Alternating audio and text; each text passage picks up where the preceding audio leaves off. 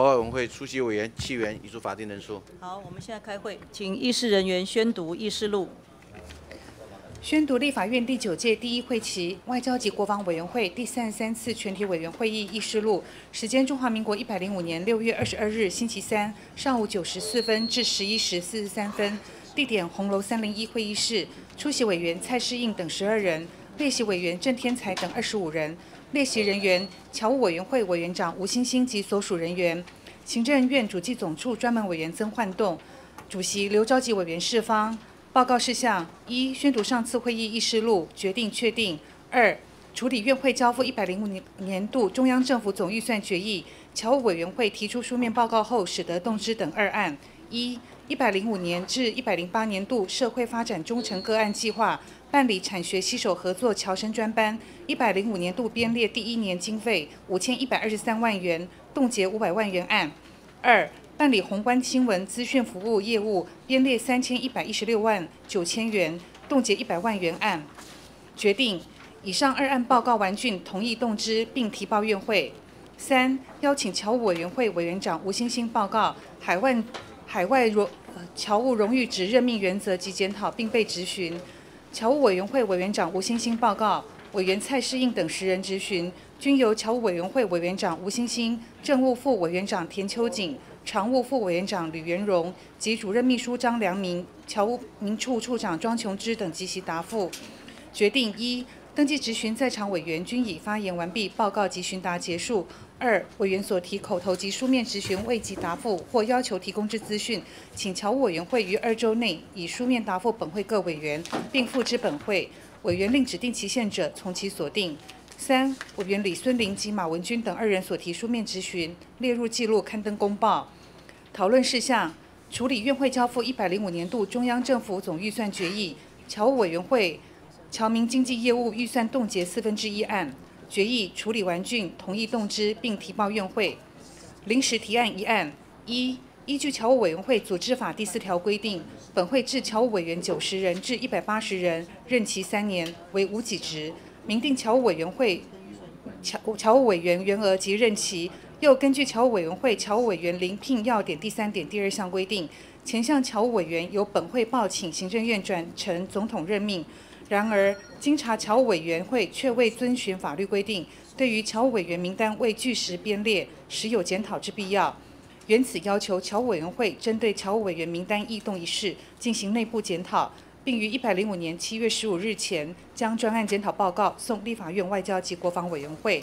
提案人蔡世应、林长佐、刘世芳、陈廷飞、王定宇、罗志正，决议修正通过。以上宣读。好，请问一下各位委员，对于上次会议议事录有没有遗漏或者是错误？如果没有话，呃，请，呃，哦，如果没有的话，就议事录确定哈。那各位委员跟党团助理，如果有有关预算提案的话，要在今天早上十点以前交给议事人员会诊。十点，十点以前哈。好，请议事人员宣读报告事项。宣读本日议事日程报告事项二：处理院会交付一百零五年度中央政府总预算决议，国军退出役官兵辅导委员会提出书面报告后，使得动之等二案。一冻结荣民与荣眷生活辅导宣慰及座谈六百六十二万九千元之四分之一案；二、冻结对荣民及特定医疗体系之补助十七亿四千三百三十六万一千元之五分之一案。以上宣读。好，请问一下各位委员，对于呃上面两案的这个呃预算冻结案，是否同意动之？好。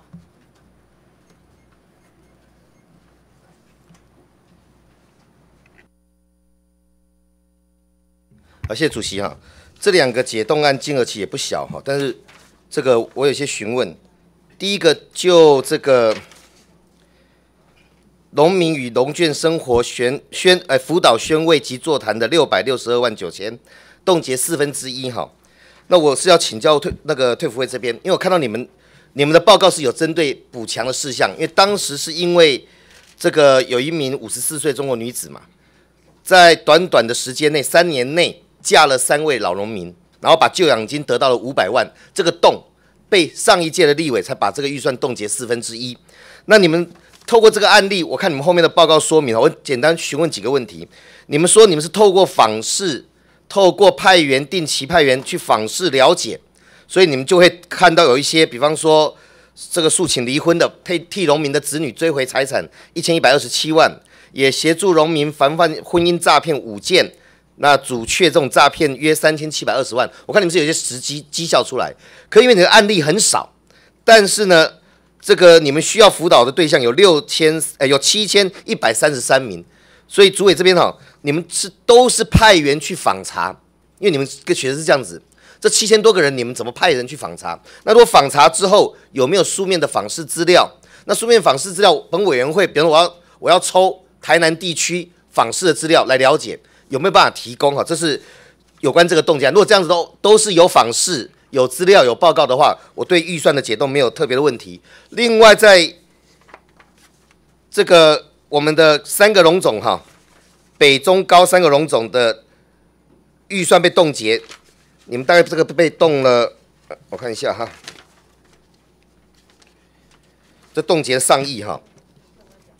那这个上亿元的预算冻结呢，是因为对高龄化、中期的照护等等，它有一些提出。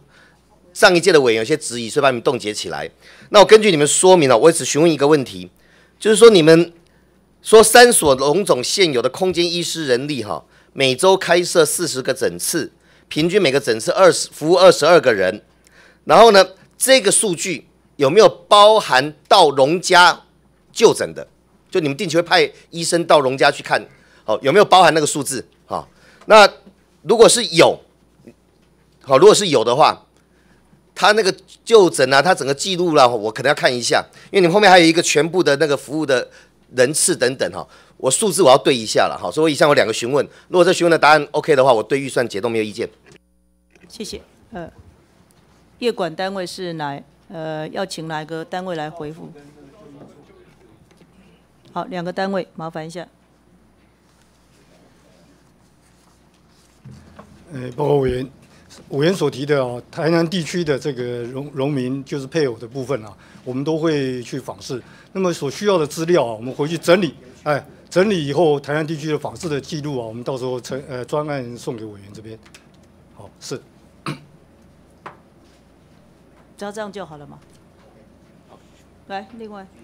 呃，委员好，就一出报告，我们那些资料是三所龙总的。总院的，那我们另外有去农家访问的，那是另外的数据下来整理好给委员。没有。好，各位有没有其他的要询问的部分？我来问一下。好，蔡委员。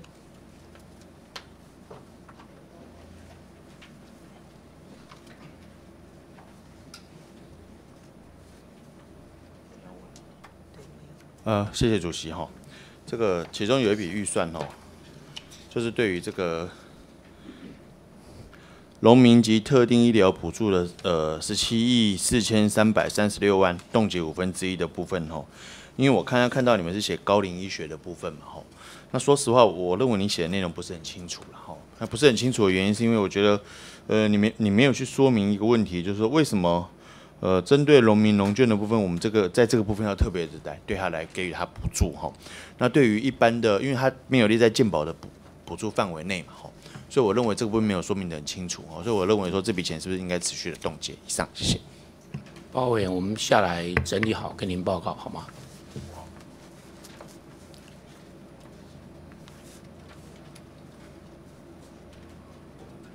呃，我也是针对哈，呃，刚刚有关于那个呃上一次啊，呃被冻结的部分要提出一个看法哈，就是现在农民跟外配大部分都陆配哈，结婚的相差二十岁以上的有七千多名啊，那一般呐，一般而言，这些呃大陆来的陆配，不管他经由什么管道过来，虽然我们已经成功阻绝了只有几个案，防止农民防患婚姻诈骗只有五件。但是有家暴的，还有行方不明的，一共有一百三十四件，一百三十四件。那现在可不可以请教我们呃业管的处长，可以告诉我说这一百三十四人呢，现在的处理状况是怎样？好，虽然我们年龄上是没有差距，可是，一百三十四件已经确定是没有共同居住、行方不明，还有长期感情不睦跟家暴，总共一百三十四。那这些我们怎么处理？这个的话，我们在行方不明的话，我们会跟警政单位配合，就是，呃，他有的是来结婚了以后，他没有跟我们的农民居住在一起，那么经过我们访查了以后，发现他不在，哦、生活在一起，所以是假结婚真诈骗了哈。那我想要知道一下，除了你跟警政单位联系以外，我们退辅会的机制可不可以马上先冻结啊？因为他是配偶嘛哈，他的所有的这个，譬如说他在这边的财产啊，甚至要通报到移民署，有没有可能这样子？哦，财产部分的话，我们人就还在农民这边管理之中，嘿，所以说他是人不在，但是财产还在对但是就国安的观点来讲啊，经由跟老农民结婚的陆配来了一百三十四人，到最后不晓得跑到哪里去，这个也是我们国安的问题啊。们跟移民署也有结合，所以他在那个在移民署每哎对每次有审查会议的时候，我们都认为他如果说哎请把请把相关的资讯，请把相关的资讯，不是只有给警政单位，移民署也要，好，还有我们的陆委会，好，是那同时跟移民署那个警务队他们都有配合。好哎，那同时，同时这些受害的农民是怎么处理的？能不能找到？因为一般我们来讲，哈，都会有一个类似蛇头啦，哈，不可能，不可能一个路配跟一个老农民马上都不认识就可以结婚，一定有人在从中间当所谓的好听叫婚姻中介啦。那这些人能不能找得到？有些是就是大陆配偶来这边跟我们农民相处不错了，他又介绍大陆配偶，不一定说完全是有人蛇集团的这样子，但是我们会了解。我我当然要在，有些事你现在是行政单位，有没有这样的状况？你必须要跟我们的警政单位结合啊，是有没有目前是没有没有发现，目前没有哎有这种状况，我们都会跟通知警政单位。这样子哈？哎是的那麻烦你提供一下，就是一百三十四个这些有家家暴的案件，后续我们是怎么处理的？家暴案件只有一件，家暴案件一件，那它后续是怎么处理的？是好，我到后续哎是怎么处理的？好吗？是好好，谢谢。好，谢谢。还有哦，罗志正委员，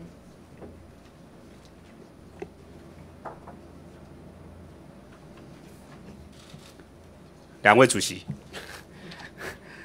交接当中，主席呃，还有我们同仁，还有那个退辅会官员哈，这个书面报告真的太简略了。那刚才包括呃退辅会官员不断讲到说，那我在私下告诉你，我再我再补充，我建议就是说呃可以再继续冻结，但是要做专案的报告，好好把我们所想了解的，还有社会想了解的一些议题，呃来做一下仔细的说明。其中我随便举个例子。这个所谓的九十九年到一百零四年，总共辅导的个案或是成功的个案是只有十件，换算的话，大概一年大概一件左右，或者一到两件。当然了，我不是说越多越好，而是说这是真实的状况吗？很多数据，比方说法律辅导，你们告诉我，过去六年总共的成功的有五件，追回农民财产一千一百二十七件。那我请问一下，有没有失败的？就是辅导了多少，然后你失败了多少案件，搞不好失败二十件啊，你只告诉我成功的有五件，讨回一千一百二十七件，一百一千一百二十七万，但是我们进行法律诉讼到底现在有多少？成功的比例多少？还是说没办法追回来了？那表示我们这些农民的确，呃，在法律上是失败的啊。又举例，协助农民防患婚姻诈骗五件，讨回三百三千七百二十万。那同样的，我想了解，有多少是最后求诉无门、欲哭无泪，钱被骗走的？这个案例有多少？你只告诉我成功的，但是没有告诉我可能在过程当中失败的也没有啊。所以很多数字都是都是报喜不报忧了。我们只有了解真相，才能知道问题在什么地方。所以我建议就是说，看有没有可能再做一个真正的专案报告，那同时也邀请相关的社服单位，甚至包括荣民医院等等的，一起来做一个呃练习报告。谢谢。那看起来我们呃发言的呃委员呐、对于这两项的预算呐、还是支持继续冻结，哈、要做一个专案的报告。那同时专案报告的时候呢，把刚刚委员的意见，譬如说有跟长照有关的，还有跟健保有关的，可能相关的其他部会也一起请过来，好吗？好，那我们这两案就还是一样维持继续冻结，哈。好，那我们现在呃请议事人员宣读讨论事项。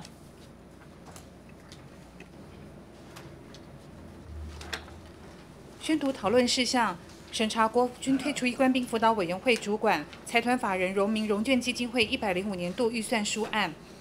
财团法人荣民融券基金会一百零五年度预算案一工作计划或方针部分，应依据业务收支之审查结果随同调整。二收支部分：一收入总额，业务收入一千五百万元，业务外收入两千一百零八万元；支出总额，业务支出七千三百六十八万一千元。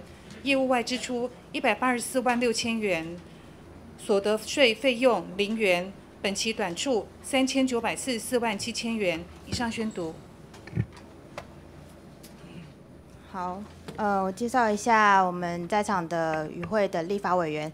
第一位是我们罗志正委员，第二位是王定宇委员，第三位是蔡世应委员。接下来，呃，是我们今天。退辅会的主任委员李祥宙，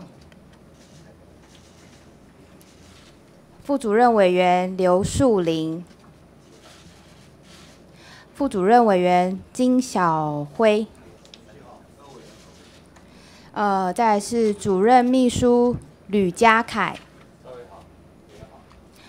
综合规划处副处长陈静茹。服务照顾处处长林夏富，呃，救养养护处处长赵秋莹，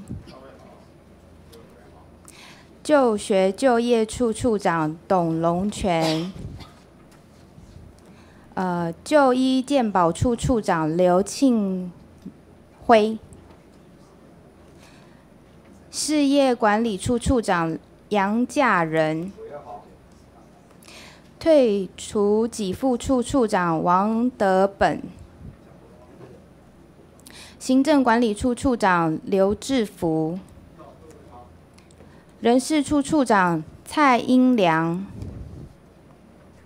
政风处处长贺国明，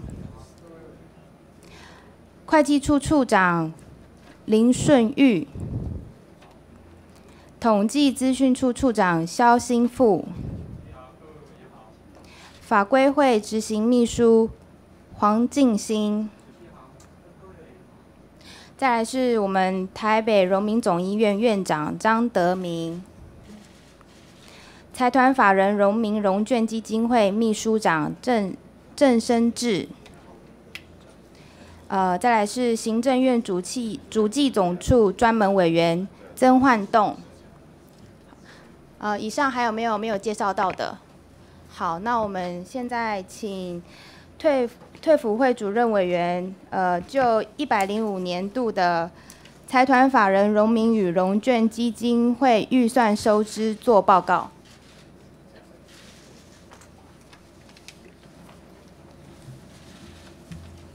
主席、各位委员先进、各位小姐、各位先生，今天个人列席有关审查一百零五年度财团法人荣民融券基金会预算案。深感荣幸，并承蒙委员们的指导与支持，谨致最高的敬意与谢忱。基金会属于荣民融券社会福利服务性质，目前我们正在积极提升组织行销与创新能力，希望能够多面向的推广会务。而能获得外界支持以及主动的捐书，据以扩大基金的财源，挹注福利服务工作的经费，使福利服务永续经营，根续妥善运用基金会的资源来照顾荣民融券。现在由呃本会的副主任委员兼荣民融券基金会的董事长刘树林先生就董事会编成。运作概况、预算编列以及未来工作的重点，向各位委员做一详尽的报告。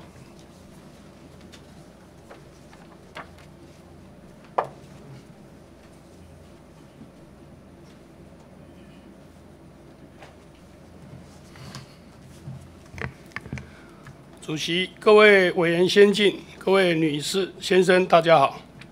财团法人荣民融券基金会一百零五年度预算。预算案报告一前言：荣民融券基金会系依据台湾地区与大陆地区人民关系条例》第六十八条，由国军退出役官兵委员会将民国八十二年九月十七日以前，在台亡故现役军人及退出役官兵无人继承之遗产，于八六年七月九日捐助设立荣民荣眷基金会，负责基金之管理与运用，并完成组织章程报经行政院核定。设立以来，依组织章程所定宗旨，迄今运作顺遂。而后，基金会将继续配合国家政策，开源节流，并加强服务照顾弱势农民眷。现仅就基金会设立宗旨、董事会编成、业务执行成效及一百零五年度预算编列情形报告如后，敬请委员指教与支持。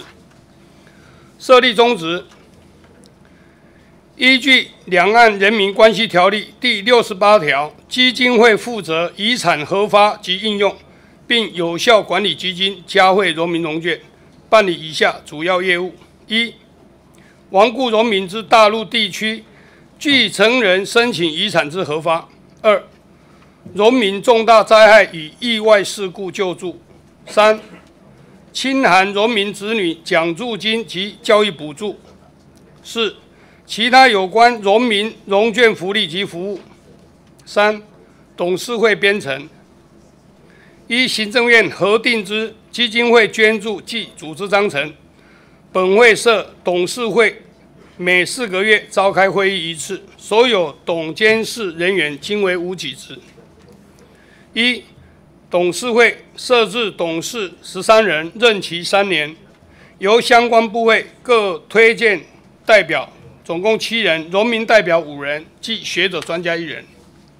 二、设置监察人五人，任期三年，相关部会各推荐代表一人，总共三人，即农民代表两人。四、一百零四年业务执行成效报告。一、申请遗产核发，核发对象为八十二年九月十七日前亡故农民法定之大陆地区继承人。申请者需经相关部会查证属实无误，核发遗产总额六成，以一百零四年度即核定申请一笔核发六十五万元。十八年来已核定两百二十七笔，总共核发五千八百八十九万余元。二、农民重大灾害救助，核发对象为农民农眷因重大灾害事故导致亡故后重度身心障碍以上者，一身份类别分别救助两万元。一百零四年度核定一百一十三笔，核发。两百三十七万元。三、清寒农民子女教育奖助学金及教育补助：一、奖学金每年办理一次，名额三百人，核发对象为未支领退休俸农民之子女，且未领政府教育补助费之品学兼优者。一百零四年度核定两百二十七人。核发两百六十七万余元，就学补助，每年办理两学期补助，核发对象为未支领退休俸之清寒农民，未任公职人员，家户总收入低于一百一十四万者，且未满三十岁之就读大学、大专院校的子女。一百零四年度合计。九百，呃，更正，九千三百九十五人次核发四千六百九十七万余元。挂五三，农眷进修补助对象为农民配偶及其十八岁以上、四十岁以下的未婚子女。每年可申请两次学杂费补助，每次补助金额上限四千元。一百零四年度核定五百零一人次，核发一百九十四万余元。四、不动产管理，辅导会于一百零二年八月核定，将八十二年九月十七日前列管之亡故农民遗留不动产移交基金会管理。自一百零五年五月三十一日止，即接收两百七十七笔不动产，迄今已公开标售两次，计十六笔，金额三千八百八十七万余元，另租赁三笔，收入十八万八千元。五一百零零五年度预算编列：一一百年度工作计划一执行基金会组织章程工作目标。预化完成以下各项工作：挂号一，遗产核发推估三年计一百五十万元；农民重大灾害救助推估一百五十人计三百万元；就学补助两学期计五千一百五十万元；奖学金计划核发三百元计三百五十一万元。融券进修补助推估八百人，计三百二十万元；以上教育补助合计一万一千四百人，计五千八百二十一万元。一百零五年度预算编列情形：一百零五年度预划收入三千六百零八万元，支出七千五百五十二万七千元，短处三千九百四十四万七千元。预算主要编列概述如后：一、收入利息概估两千万元，捐赠一千五百万元，其他收益计一百零八万元，计三千六百零八万元。支出业务费支出六千七百三十一万五千元，行政管理费三百三十九万八千元，人事费用四百八十一万四千元，计七千五百五十二万七千元。六、未来工作重点：一、运用基金会宣导慰问时机，宣导国家照顾弱势农民券、辅导就业、就学及推动募兵制等相关政策，鼓励更多融券加入志愿役，坚持国防及改善生活品质。二、强化与有助于基金会开源之相关个人、公益团体、机构等联系。并积极参与补助农民相关活动，宣导基金会服务宗旨，以及增加捐赠，积极扩增财源。三、灵活应用基金管理本量入为出之原则，遵董事会决议修订组织章程，增列有利于基金收益之投资项目，其能开源节流，以达收支平衡。四。有效不动产管理及活化应用，修订现行不动产管理作业规定，促进不动产改造归并及再利用，提高不动产价值，以达经济效益最大化之目标。五、基金会继续办理贫困急难之农民融券救助，落实融券就学奖助金补助及申请遗产合法等福利服务事项。结语。基金会为公益财团法人，一切计划作为及会务执行，均以推展服务清寒农民、农眷及救助为目的。迄今已有十八年服务的工作成果，受惠者达十万六千零二十七人次，发放金额为十亿四千五百四十三万元。未来本会仍将结合现有资源，持续服务照顾农民、农眷。以辅基金会设立宗旨。报告完毕，恭请指导。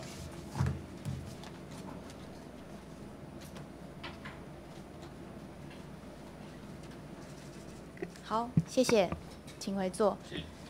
那我们现在询答开始，原立本会委员八加二分钟，那非本委员会的是六加二分钟。呃，到十点半发言登记截止。那我们现在请第一位发言的委员王定宇委员。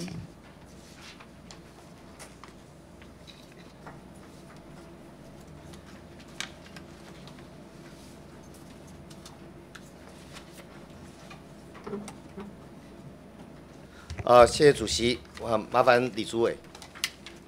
有请李主委。委员长，哎，早，这个。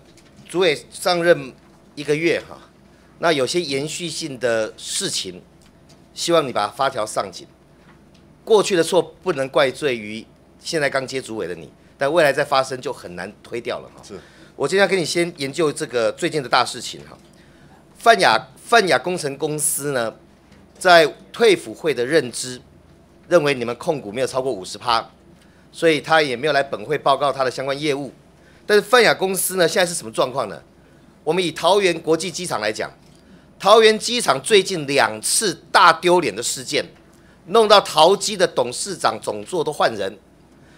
每一次桃机出问题，他的公司那边因为那是国家的公司，所以他必须负起责任。可如果仔细去看的话，我们在六月六月十三号哈，桃园机场大停水。大停水的原因呢，是 WC 滑行滑行道工程的施工厂商泛亚公司把它的自来水管挖断，有管线图还挖断，造成国际机场大停水。大停水之前，更早之前，在六月二号那一天刚好运会在开，结果桃园机场呢足足淹了七八个小时。那个原因是因为那个下面那个涵管施工管理不良。用鹅卵石用其他东西阻塞了这个排水管，所以造成那边大淹水。原因也是泛亚工程公司。那泛亚呢？这间公司这个主委他们已经出了这么大的包了哈。我不晓得你就任之后到目前为止有没有去了解这公司的状况？呃，我特别跟委员报告哈，刚才委员提的六月二号跟六月十三号淹水跟停水事件了，当然泛亚工程哈必须要负这个就责的责任。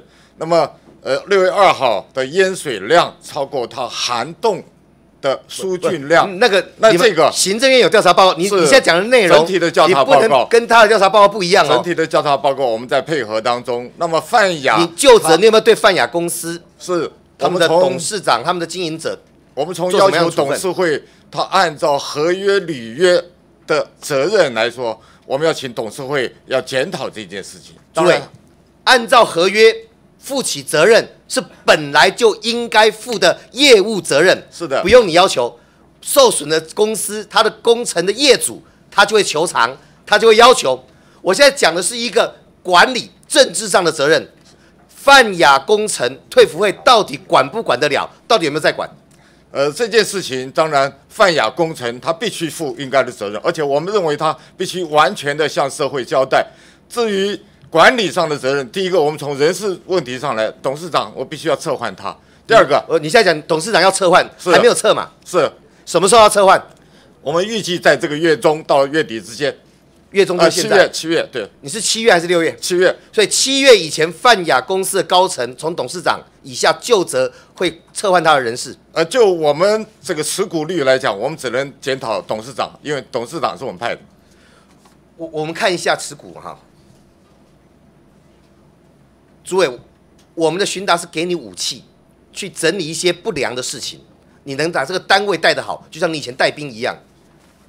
泛亚工程建设，你如果仔细看它上面前面，董事长一直到这个张小珍董事，这个是网络上就可以查到公开资讯，全部都是退辅会派任的。下面呢，从董事于俊彦到董事胡正山。是中鼎公司派任的，中鼎公司后面也是我们政府投资的。然后呢，下面监察人啊，其他的还有一些台泥啦、嘉兴水泥等等。所以以观看董事会来看，百分之八十以上的董事其实都是我们国家资本所派任的，没错吧？我们请事业管理处。呃，谢谢委员哈，我跟委员做个报告，我是事业管理处处长哈，那个。范亚，我们这个董事会，这个董事会啊，不是董事长你们管得到而已。其实董事会你们是可以完全掌控、实质掌掌握的。我跟您报告，就是说我们的持股是百分之四十七点九。那我们现在啊，泛亚的董事会里面，它有十一董，我们目前是派出五董。那另外呢，那个六呃，我们派出五董，那另外是由中鼎公司以及啊，那其他的那个小额投资的。那个那个资料我都知道了，你回去查一下报纸。一零一大楼那时候在抢董监事的时候，我们国家的经济部下去是协调所有国家资本的董事，其一动作，做有效的管理跟掌握。你们派了吴董，难道下面中鼎派的人，我们不是同一个政府的人吗？不能协调吗？不能一致性的要求这个公司公司改善吗？会的。我们再看下一个哈，这是一个笑话哈。我可以先告诉你答案了，他们绝对没有你们的持股绝对国家持股绝对没有八十二趴。这个盖着你们李祥宙主委的大印，告诉我你们你们退辅会相关公司所占的比例。你知道你的算法哈？比方说，我举个例子，你说大南汽车，你们本会持股二十五点五趴，投资事业机构，也就是你们另外一个投资事业机构融桥占了三十八点一一，新兴客运占了三十三，所以你就把三个加总，认为它是超过五十趴。我替你们退辅会讲一下，不是这样算的啦，你要算投资比例乘以百分比，要稀释之后的比例。是的，所以我是照我完全照你这个算法哈，我告诉你。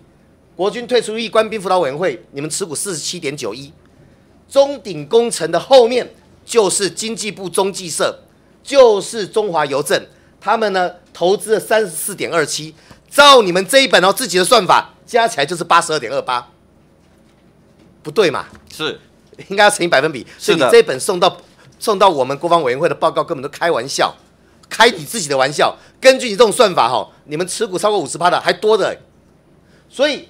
我用正常国营事业的算法，三十四点二七趴应该要乘上中华邮政站的比例，乘上中继社站的比例，大概加起来是两趴左右，是核算上去是四十九点九，也就是这一家泛亚，我们国家资本实质掌握的比例虽然未达五十，但是已经四十九点九左右了，是可以实质掌握的公司，所以这家实质掌握的公司。让我们桃园机场国家大门淹水也是他害的，停水也是他害的。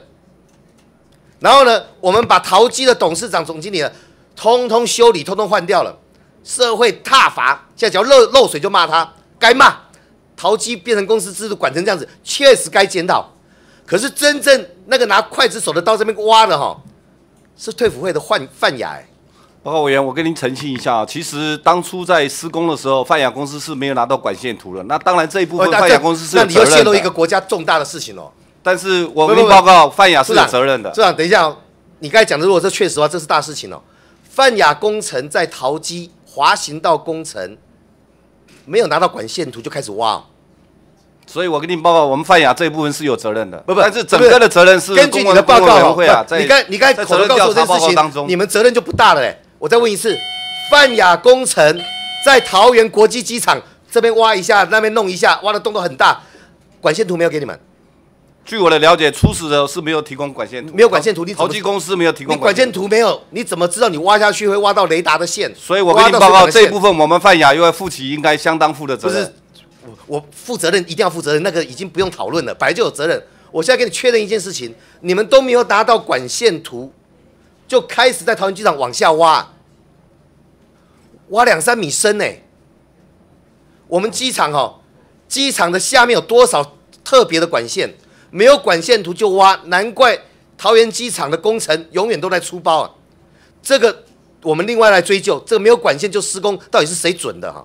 还是你们范雅自己短猪短椅自己做主下去挖的？是陶机叫你们挖的，还是你们自己先要挖的？这下去我们再去了解。所以你还不了解？就这一部分我还出了那么多年的纰漏，那工程不是淹水跟停水，当然是六月份之前就有纰漏耶。呃，报告委员，因为有关这一部分哈，是必须要看合约里面的怎么定的，然后我详细了解之后再跟委员您回报。刚才你讲那些没有管线的动工，造成淹水、停水等等，这个不是现在才告诉我说，委员，我们私底下再了解。你们应该早就了解，这你的业务嘛。我再给你看一个东西，你应该更早就要了解。泛亚工程。一百，这个民民国一百零三年的投报率、投资报酬率，跟一百零四年的投资报酬率，负百分之一百零一点五一，负一百趴以上哎！我再去查他标单哈，他标到的工程三十亿、几十亿没有减，也就是同一家公司在一百零三年的投资报酬率，到了隔年一百零四年投资报酬率下降了百分之一百零一，你知道吧？知道为什么会这样子？呃，这里面牵涉很多原因啊。第一个包括原物料的关系哈，第二个原物料不是只有你家在涨，对。第二个还有还有哎，公司买那是一百零一哦，这个要好好检讨哎。抱歉，是主席就有一点时间，你们这有没有查出原因来？呃主要的原因是什么？主要原因最主要是整个哈公大型的公共建设，基本上的投资毛利是很低的，逐年都很降低的，加上原物料的影响，我把一零三、一零四台台湾各大型建设的公司哈都拿来对的话，你就难看了。谁负一百零一啊？负一百零一点五一？那我问你，董事长、董事这些人的奖金有没有照发？呃，鲍委员，我手上的资料哈，我们一百零四年泛亚的投资报酬率是百分之十二点八六。对，我在问你，他们的奖金有没有照发？每个月发的那一笔那我要去查证。有发啦，有发函，那个东西都有数据，财报都有的。一个经营公司负一百零一，你们前主委董祥龙还在那边很大声的，我们是优秀的人才，我们绩效非常好看，好看个鬼啊！负一百多趴，这奖金还还可以发吗？你知道吗？光董事长我把名字遮起来哈，所以这也都公开资讯。董事长也是我们军派任的，原来是在退辅会这边好像当当主秘还当科长，副秘书长，副秘书长嘛哈。他原来本俸十一万左右，退役的时候派去泛亚的薪资呢，你们用一个集聚大概是十七万到十九万，而且每个月固定给他十五万到十七万的奖金，一定给的哦。我还没有算其他的年终这些哦。每个月领到的实质薪资是他退伍退役前三倍，然后这家公司负一百多趴的投资报酬率，这家公司让桃园机场停水，让桃园机场淹水，没有管线图还是挖下去，我我真的不知道前主委是怎么管理这些公司的，所以我最后回到主委这边，我最后一个问题啊，交通部对事业单位哈，像我刚才还查证一下，中华电信。我们国家资本掌控的股份三十出头而已，他就要到交通委员会报告，他就要向监督负责，他就要向绩效负责。而我们退辅会一直在抓五十趴这个上限，甚至于到四十九趴，还说你们报告内文还说，由于各该公司持股率未超过五十，我很难认定我可以主导这些公司。这样子的讲法太过落伍，也不够负责。所以我期许，我期待李强洲主委哈。我们实质有掌控的，就是你能够派董事长，你能够对公司有实质影响力的，因为那是你的责任，赚的钱是国家的，应该要叫他们面对监督，来到本委员会面对监督，应该对绩效负责，应该对重大事件负责，基本的合约责任不是不是你来管，基本合约责任受害者就会要求了，你所要做的管理是超越这之上，可不可以把这些公司我们找一天通知来，我们来研究他们的绩效？我特别跟委员报告，我们已经在就转投资事业管理办法哈，我们在积极在修正当中。我们在这两个礼拜之内，我们会跟委员会我们来加强管理掌控，就学学交通部或经济部。是的，持股二十趴以上要来这边报告。是的，我期待你做这样的决定，而不是被本会决议做要求，这样好不好？？我们做完整规划，谢谢委员。谢谢王定宇委员。接下来有请下一位委员蔡世英委员。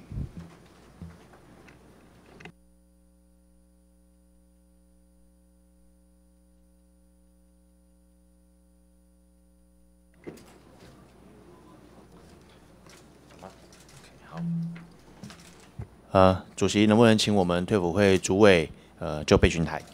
主委，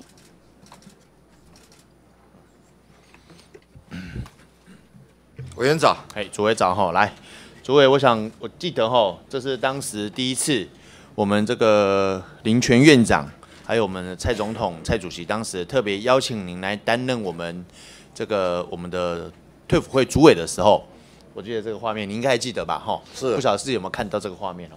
我记得当时他跟你讲了三件事情哦，第一件事情就是我们的年金制度的改革，第二个就是长照体系的改善，第三个就是退辅会所属事业的一个机关的改革哈。那我想先首先先接续哈，刚才我们的这个王定宇王王委员讲的哈，这个泛亚工程的事情啊哈，为什么要先这样讲？就是说在您还没就任之前，我们的董前主委在每一次在这个地方就备询的时候，谈到的相关的我们退辅会的企业的时候，都对他们非常的称赞。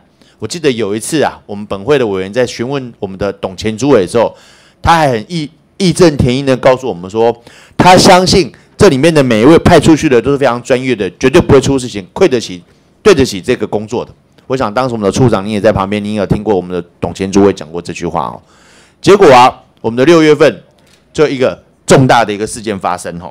那这重大的事件就是我刚刚讲的国门之耻跟幕后的黑手。那后来呢，交通部跟行政院的报告里面就把这个幕后的黑手写成就是我们的这个泛亚工程要负最大的责任。我想到目前为止，这个李主委，你对于这个行政院的报告，你们有没有什么任何的意见？呃这件事情哈，我们呃就呃整个会议结论哈，我们做全班的检讨，所以没有意见嘛，对不对？好，那呃，我在这边吼，我讲一段内容给你听一下哈，这个媒体写的啦，吼，媒体写的，他说吼，交通部长贺成旦表示吼，这桃园机场的问题吼，这个总经理要负责任，也强调交通部一定要处理泛亚公司，这其中他讲了一段话吼。然后结果这个媒体帮我们没批一件事情，他说吼，他觉得很怀疑，他说吼，退辅会管得了让桃园机场丢脸丢到外太空的泛亚工程吗？呃，从我们持股率来看，我们你管得到吗？嗯，可以监督？我们会监督。我说你到底管得到还？管你管得到泛亚工程吗？可以嘛？所以这句话人家多虑了嘛，对不对？好，这个事情桃园机场这个事情发生之后吼。呃，主委你晓得吗？桃园机场的总经理、董事长是换人了，是马上就换人了哈，效率也蛮快的。那为什么到现在泛亚工程还没换呢？呃，我们现在啊，就是就转投资企业，我们希望呃能够达到符合呃人民的期待，所以我们从转投资企业高阶领导人的甄选条件上，我们正在做呃完整的规划。我想请教一下我们的主委哈，是这个。桃园机场的资本额跟我们的泛亚工程哪一个比较大件呢？当然，哪一个？当然是哪一个？当然桃机大。那淘机的董事长比较难找，还是泛亚的董事长比较难找啊？呃，我跟你实话报告，范雅比较难找。范雅比较难找，是为什么？按照我们过去的窠臼，按照我们过去的规范，我们现在要跳脱出那样的一个传统，我们要重新。不能把泛亚就把它解散掉好了，就不会难找了。我要讲的意思就是说，这个重大的事情发生之后。同样是属于我们行政院下的交通部，马上断然的处置了桃园机场的董事长跟总经理。到现在已经发生多久的时间了？我们还在行政作业，还在征询，还在干什么？这不是符合人民期待的一件事情啊！董事长，我想你直接马上告诉我一个时间，什么时候完成？七月十六号。太久了。我我跟你讲哈，董事长，那那个主委，你现在做的第一件事情，直接先撤换，直接先推一个代理董事长就可以了。然后你遴选完新的董事长之后再去征除就好了。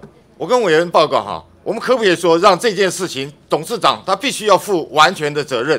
那之后我们去就人事作业来看，董事长的完全责任就是辞职啊。这件事情还不够丢脸吗？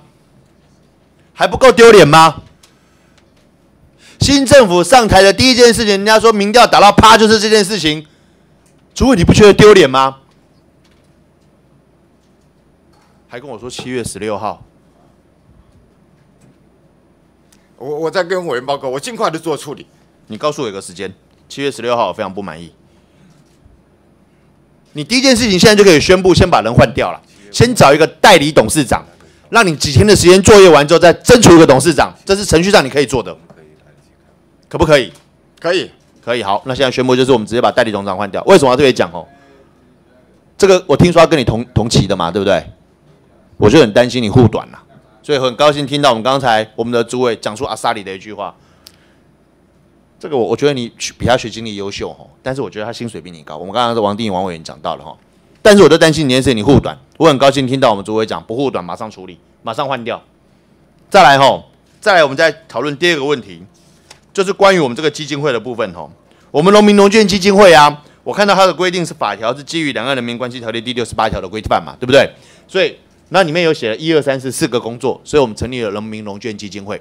我想请教一下我们的退辅会主委哈，这个你内容字看得到吗？有点小，不好意思哦。第一条就是对于亡故现役军人子女或退出役官兵在大陆继承人申请遗产的合法事项，这是我们最主要的工作嘛哈。结果啊，我们当时在修法的时候多了二三四条。第二个是农民重大灾害救助事项，再来呢是所谓的。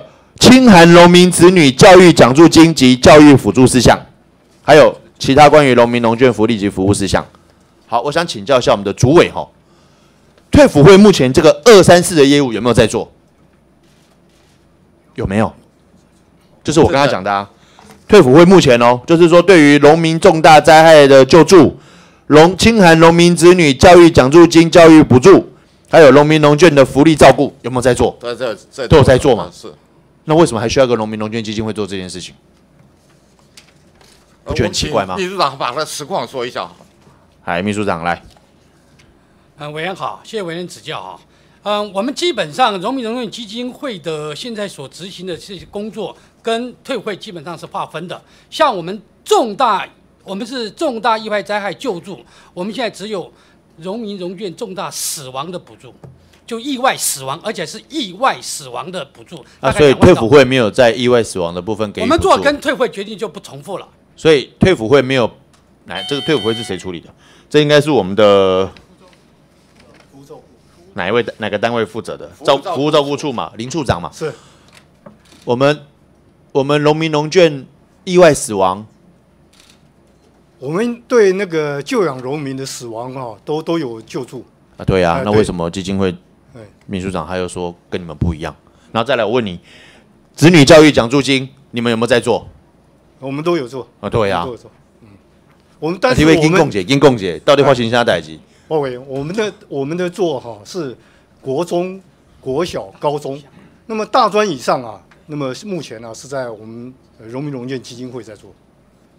哦，那那些说是公务预算编列的，那么国中国小我们只有五百块的这个子女教育补助费，哎，国中国小五百块是啊，那高中的话是三千元，那大学的嘞？大学是荣民农建基金会资资助的。对啊，那他们有其他的钱可以请啊。是，所以我我我我我，主委你有听到了哈？是，主委你认为这两个业务是不是要把它整并在一起啊？呃，我们我们朝这个方向来努力。我我为什么要这样讲哦？我看到我们这个农眷农民农眷基金会的时候，我看的时候很感慨。我我讲我这个不是针对秘书长，我要先说明哈。我看到很感慨的原因说，原来我们对退出役官兵的照顾事项，如果没有农民农眷基金会就不能做了。就我发现去查一下你们的相关预算，哎，不对呀，退伍会本四四大还五大工作里面就有做这个东西呀。所以代表这是什么？立法重复，立法重复。那明明。这个农民农眷基金会刚开始的财产来源来自于哪里？就是我们的，呃，过去我们的农民往生之后他的遗产，留着没有处理的遗产嘛，对不对？那我想请教一下我们的李主委哈，我想问你一个问题哈，一般的国人呐，一般的国人，如果他死亡之后没有遗产继承人的话，他的财产怎么处理？你晓得吗？地方政府协助了。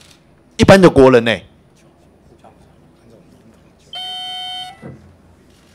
包主，哎，包委员是按照民法规定，没有那个单身的话是缴国库的。是啊，是 啊，缴国库啊。是。所以这个人的身份，假设他是老师的话，是不是缴国库？对不对？如果他是单身都没有继承人，如果他是公务员的话，是不是缴国库？没错嘛。如果他是警察的话，是不是缴国库？也是嘛。海巡署也是嘛。那对呀，啊，退伍会的员工是不是也是缴国库啊？只有农民不是啊，你不觉得很奇怪吗？那当时我们设立的规定是因为担心他有在中国的继承人嘛，对不对？所以我就说农民农眷基金会应该处理这件事情就好了。所以我想主委你去思考一下这个问题，业务整并好，才不会这样很多头马车的局面哦，给大家很忙，给大家很忙碌在做。好，我可不可以说明一下？就是这我们这个两岸关系条例啊，在八十二年的七呃七月呃十八号那个规定哦，在这个之前的财产才。在农民基金会，那么之后啊，就八十二年以后啊，我们所有的财产啊都缴到国库来。好，那这样更好了。那现在还有没有人申请你们这个钱？处长，你讲的好，我想我继续追问你。现在还有没有在中国的遗属去申请这笔钱的？有有，那是以前的。对，反正以前的嘛。一百零四年几笔？一百零四年现在核定有一笔，有申请三笔，但我们核定只有一。一百零四年核定一笔。六十五万。啊，那一百零五年一月一号到目前为止有申请几笔？还有申请有一笔，我们现在还在核定，还在核定嘛？所以我就做这件事情就好了，专业做这件事情，诸位可以吗？我们回去思考一下，好，我会这样给你们建议哈。好，再接下来哈，这个我刚才也是我们王委员先问到的，不好意思，这个一分钟就好了哈。我们的目前的这个农民哈，跟中国籍的配偶哈，他们的比例很高哈。那这个最新统计啊，哈，我也看得很压抑，平均每一天就有七对农民与中国籍陆配结婚。诸位你看到了哈？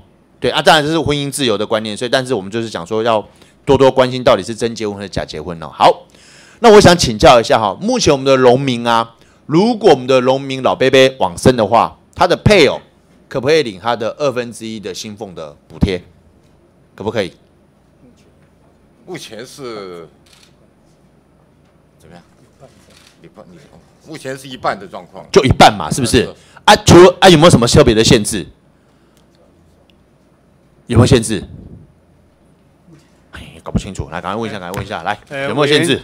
哎，各位呃，委委员好，我是那个退出给付处的处长。对，处按照这个处王处长嘛，哈，来，请说。按照这个国防部啊，这个陆海空军军官士官服役条例的规定，嗯嗯嗯目前为止，那么只要你有婚姻关系存在，那么就可以领取半俸。好，那我想请教一下哈，我觉得我知道你讲，因为我有看，我就看你记不记得，所以表示你对业务非常熟悉跟了解哈，这是一个好的处长。但我想请教一下处长哈，你记不记得我们在审查呃陆军军事官服役条例的时候，我们讲到一些法令的规定的时候，我记得退辅会都告诉我们说，其他政府单位的人的相关规定，如果比较合理，我们比较不合理，我们不建议我们的委员修法太严苛。我记得你们相关的法律有做这样的一个讲法嘛？你还记不记得？在军事官服役条例我们在做法案审查的时候，你们退辅会的人在会议中曾经说过，是说我们认为我们的相关的福利给予的条件不可以比政府的其他单位来的严苛，应该是要一致的，才是公平嘛，对不对？我们办就执行面来讲，对对对，没错来执，行。对，这样才会公平一致，才不至于说，因为你这个有特别的法，明明都是一样为国家在工作的人，结果相关的给予付的时候产生一个落差的情形嘛。好，但是呢，公务员退休法里面啊，它的规范是这样子：可领半薪的配偶需年满五十五岁，或因身心障碍无法工作，并其婚姻关系于退休人员退伍生效后已存续两年以上者，哎，就不大一样吼。是，处长是不是不大一样？你觉得告诉我这不一样的地方在哪里？呃，就是请领的年龄以及啊年龄条件第一个要五十五岁才可以嘛？是。目前我们的军事官条里面没有规范嘛，所以是三十岁女生三十岁、二十岁都可以嘛。是所以我们才发现一个很年轻的 young girl，然后然后发生一个状况，马上就请你，然后大家觉得哗然嘛，对不对？那再来还有什么呢？呃，蔡委员，给付的条件还有他的要两年以上婚姻嘛，啊，另外一个就是要身心障碍无工作能力嘛，哈。是所以在上一届有本会我们的立法院的委员也提出这样的一个修法案，好，呃，报告委员，这个部分我也简单说明一下。事实上，在一百零二年四月份国防部修正的法条里面，已经有送到院里面来。哎还没审嘛，对不对？对，好，那个时候就是规范了啊，就做了这个规范。对，所以这我想啊，这样好讲得好，处长，所以你也赞成我们应该比照公务员服务退休法这样来修，是希望未来服役条例那处主委，你赞成吗？我赞成啊。赞成，好，谢谢主委跟我们的处长后，我们朝这个更完整的法制面来走。那我们在希望我们在这个会期来不及了，下个会期我们把它技术完成修法，让我们的退辅会作业更加的方便。以上，谢谢。好，配合来办理。谢谢蔡委员。有请下一位委员罗志正委员。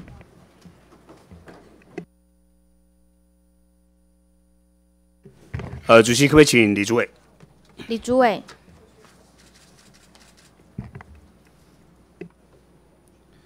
委员好。呃，主委长，呃，前面两位委员都提到我们退辅会转投资的事业单位，还有如何做监督跟制衡的一个情形哈。我给你看一个东西，这是这礼拜一交通委员会开会，它的主题叫做邀请交通部长贺陈旦就交通部得实质掌控事业单位，啪列出来了，台铁啦、高铁啦、中华邮政啦、啊中华电信啦等等，列席报告并被质询。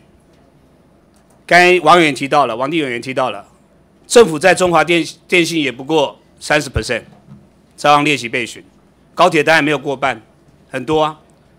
我去列席交通委员会，我多羡慕啊！这会议满满的，各单位都派人来列席，所以我们做得到吗？我们配合来办理。配合什么意思哎？我们配合，我们就是说呃，朝这个方向我们来努力。一定要努力啦。是。如果你不列啊，下预算下个会期的预算我绝对不审。如果不找我们退会得实质掌控公司的事业主管、经理人来这边列席备询就营运状况、经营现况跟未来的规划、绩效做报告的话，我下年度的预算我绝对不审。诸位，可不可以邀请他们来？可以。可以哈，OK，这是改革的一步。诸位，你要扮演改革的推手，因为退伍会很多人说要废掉了，我是反对废掉，但是要证明给我们看，我们可以做得更好，诸位这样可以吧？可以。好，我们仔细来谈今天主题，叫荣民融券基金的经营绩效，你觉得好不好？到目前你觉得好不好？呃，目前的状况是持平的状况。持平吗？啊，是。年年短处哎，每年都缺钱呢，还有持平啊，秘书长，每年都赔钱呢，短缺。呃，委员好，我先说明，就短处，不是亏损。对，我知道啦。啊，你你你应该了解，就我们不是我知道也是账会计的东西，但是回过来讲，是，这算这算好的经营绩效吗？啊，也就是说我们支出的太大了。好，那我待会帮你检讨。是，钱怎么省，钱怎么赚。每年我们预算中心都不断的给你做检讨，给你提出建议，就你每出来送出来预算都差不多，没有太大的一个巨幅的调整跟转变，表示大家觉得算了嘛，反正也不会怎样。主委、秘书长，任何的基金改善或任何的公司都是一样，它一定是要开源跟节流，对不对？秘书长可以告诉我，有什么方法开源的？呃，所以说我们刚才在业务报告里面，我们特别提出来，我们希望说，为了这个让农民这个安心，我们争取他的福利，我们希望能够做好我们相关的行销工作、创新的那是那是支出，我现在讲开源。我们钱从哪来？希望能够增加呃社会对于我们农民的认同的捐书。捐书吧，是捐款是一部分，我倒要告诉你，你们现在是编一千五百万，对不对？捐赠收入嘛，是你们自己编的啊，预估估啊，是达到达不到？达到，达到。是我倒要问你哈，好，节流本，我先举个例子好了。我们现在基金的运用，这是你们最大的一个来源，没错吧？我随便举个例子，目前你们的流动资产有二十亿两百万，其中二十亿是现金。诸位，你们住在金宝山上面，二十一现金，二十亿现金。如果有一家公司是二十亿是现金摆那边，这家公司不是笨蛋，就是完全不知道怎么经营这家公司。不会有一家公司二十亿现金放那边的啦。所以你们靠这个二十亿的孳息在生活，哎，二十一亿，你去问哪一家公司有放二十亿现金在公司的？秘书长，钱就摆那边生利息，是不是？报委员，其实麦克风近一点。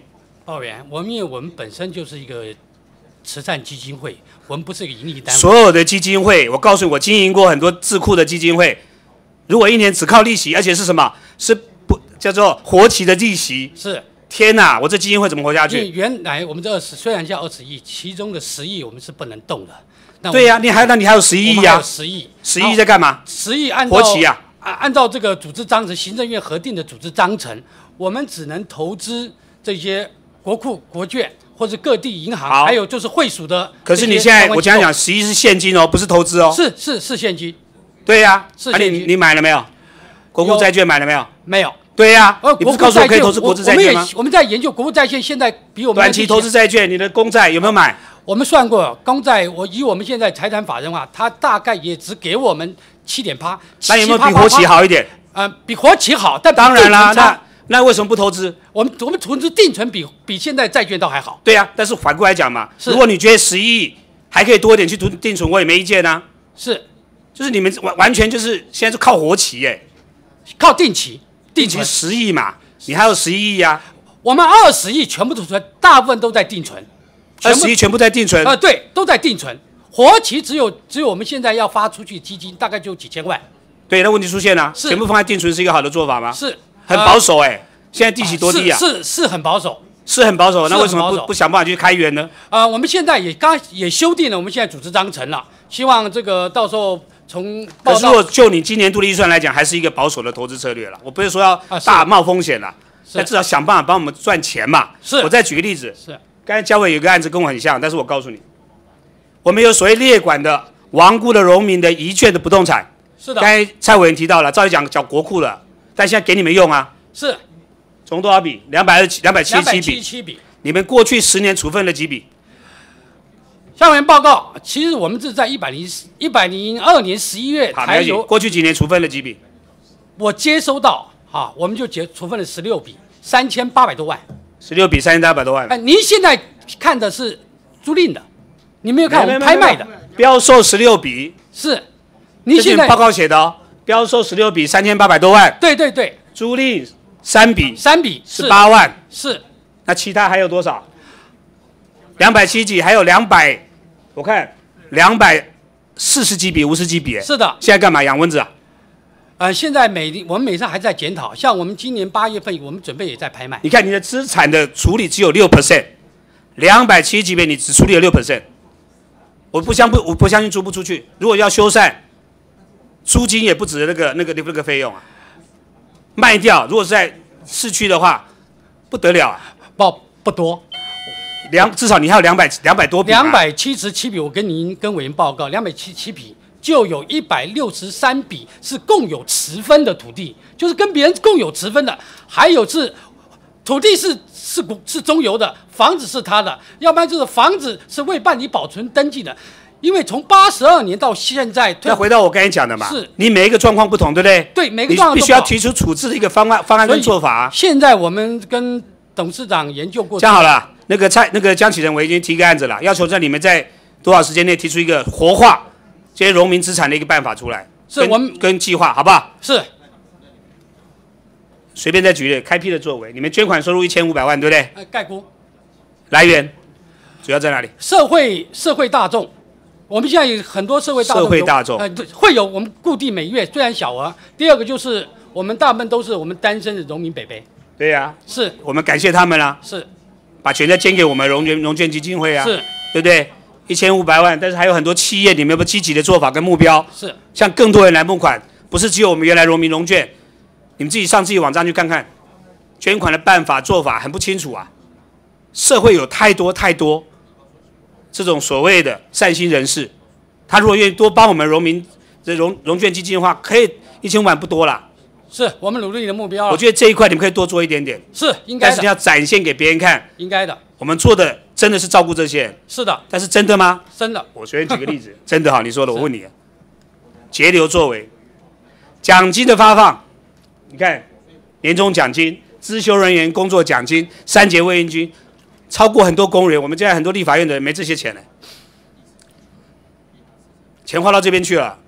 如果今天要捐款给我们荣民融券基金会，就发现里面钱都发到什么资深技用人员工作奖励金、三节慰问金，然后年终奖金，很多人可能觉得这个钱捐的不值得哎。这份我建议是可以删掉了。是。再举个例子，就学补助金在你们年度支出最大宗，没错吧？是五千五百五千一百万。一百五一百五十万的预化。那你告诉我，你觉得有没有腐烂？嗯，鲍委员，这这个其实我这样讲啊，这没有腐不腐烂的问题。什么？你们有标准哎、哎，我们不是腐不腐烂的问题，而是说那什么问题？我们的现在所有这个这个融券这个申请这个奖助金，它只是一个，它只是一个标准，只要合乎标准的，我们就核发。我同意啊，但是另外有两个东西，一个叫标准有没有腐烂，第二个这些人来的真的都符合标准，我待会要查。呃，我随便举个例子，里面有一个叫清寒的融券的补助，是叫做年所得未超过一百一十四万，是你觉得一百一十四万算不算清寒？你去问所有的人，年所得不超过一百一十四万算清寒吗？我们我们这是按照教育部当时所定的一个规定，但是有没有必要做检讨了？这可可以我们检讨。当然可以啊。是你去问现在所有的人，一百一十四万算不算清寒？这是你们定的标准哦。是的，我问个，我问十个里面九个说这个叫清寒哦，那我也可以申请。不，现在好像这个标准又更提高了，我们一直没有加高。对呀、是加高啊。教教育部一直把这个一百一十没了，万总我们我们教育部教育部啦，但是我们对一般社会局补助的标标准也不是一百一十四万啊，是的，对不对？我现在讲的就是我们有没有必要到检讨的时候。是我再举个例子，申请者，你们现在告诉我哈，去年啦，一百零四年，大概有花了大概四千九百多万，不到五千万嘛，不到，对不对？是我问你，申请率跟通过率，对不起，再一分钟就好。申请率跟通过率是不是通通来都有？呃有有核退了，多不多？核退也嗯、大概有有，我强制数据我不知道哈，因为有核退，请提供给我这个是我提供给你，会后提供给我。这个核这个核退的哈是经过财政部和教育部核退的，没有，我现在讲就是说，你们有所谓的申请资格，是资格里面提供很多的条件，一二三四五六七个条件。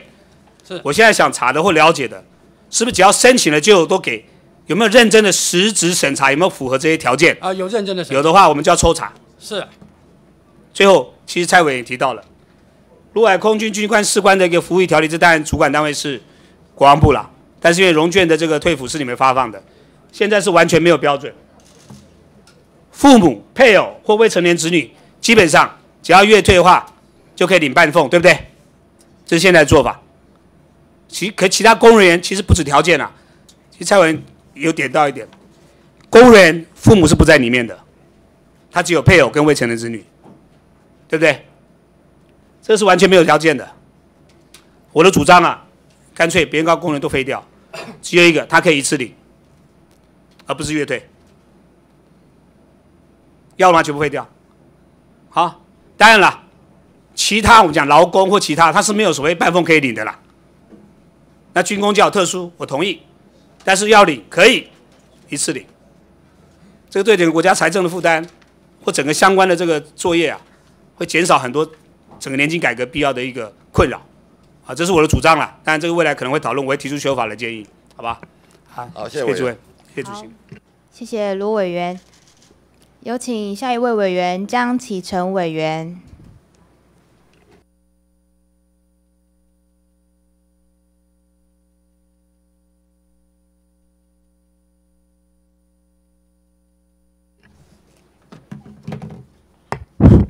好，请主席先邀请李主委，好吧？李主委。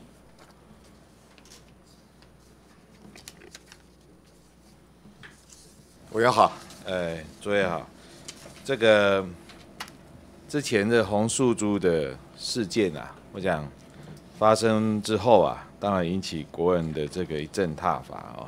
你也跑去探视这几位农民嘛，对不对？那这个衍生出来的，大概我们我们所看到的主要是有三位嘛。你好像也去探视了其中的两位，是不是？呃。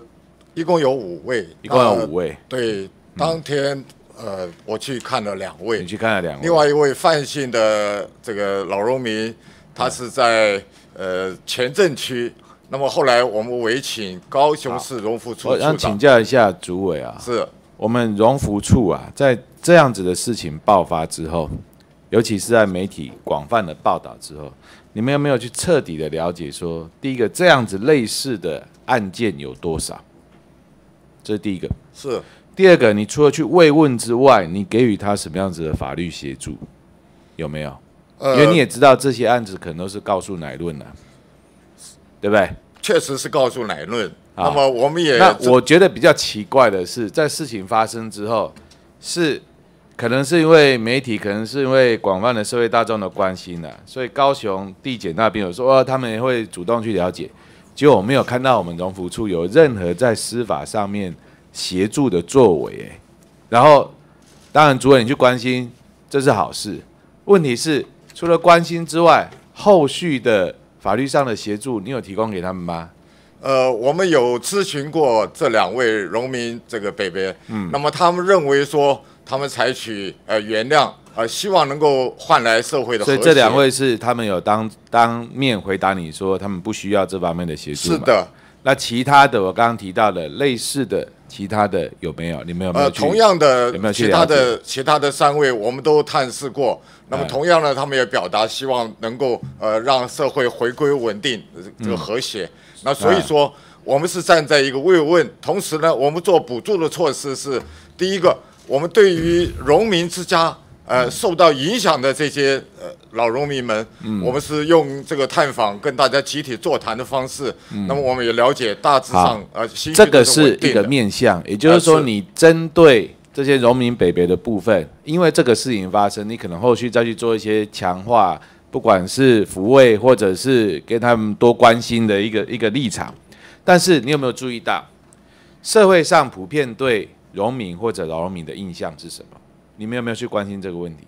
呃，对于这这部分呢，我们收到很多大家，特别是时下可能比较年轻一辈的这些年轻人，他们不见得对荣民有任何的记忆啊，甚至他们出生以后，其实这些荣民都已经退休了嘛，对不对？是。那再加上台湾政治的一个很特别的状况，你有没有觉得说这些老农民在普遍社会大众的印象跟认知啊，似乎好像正面的不多？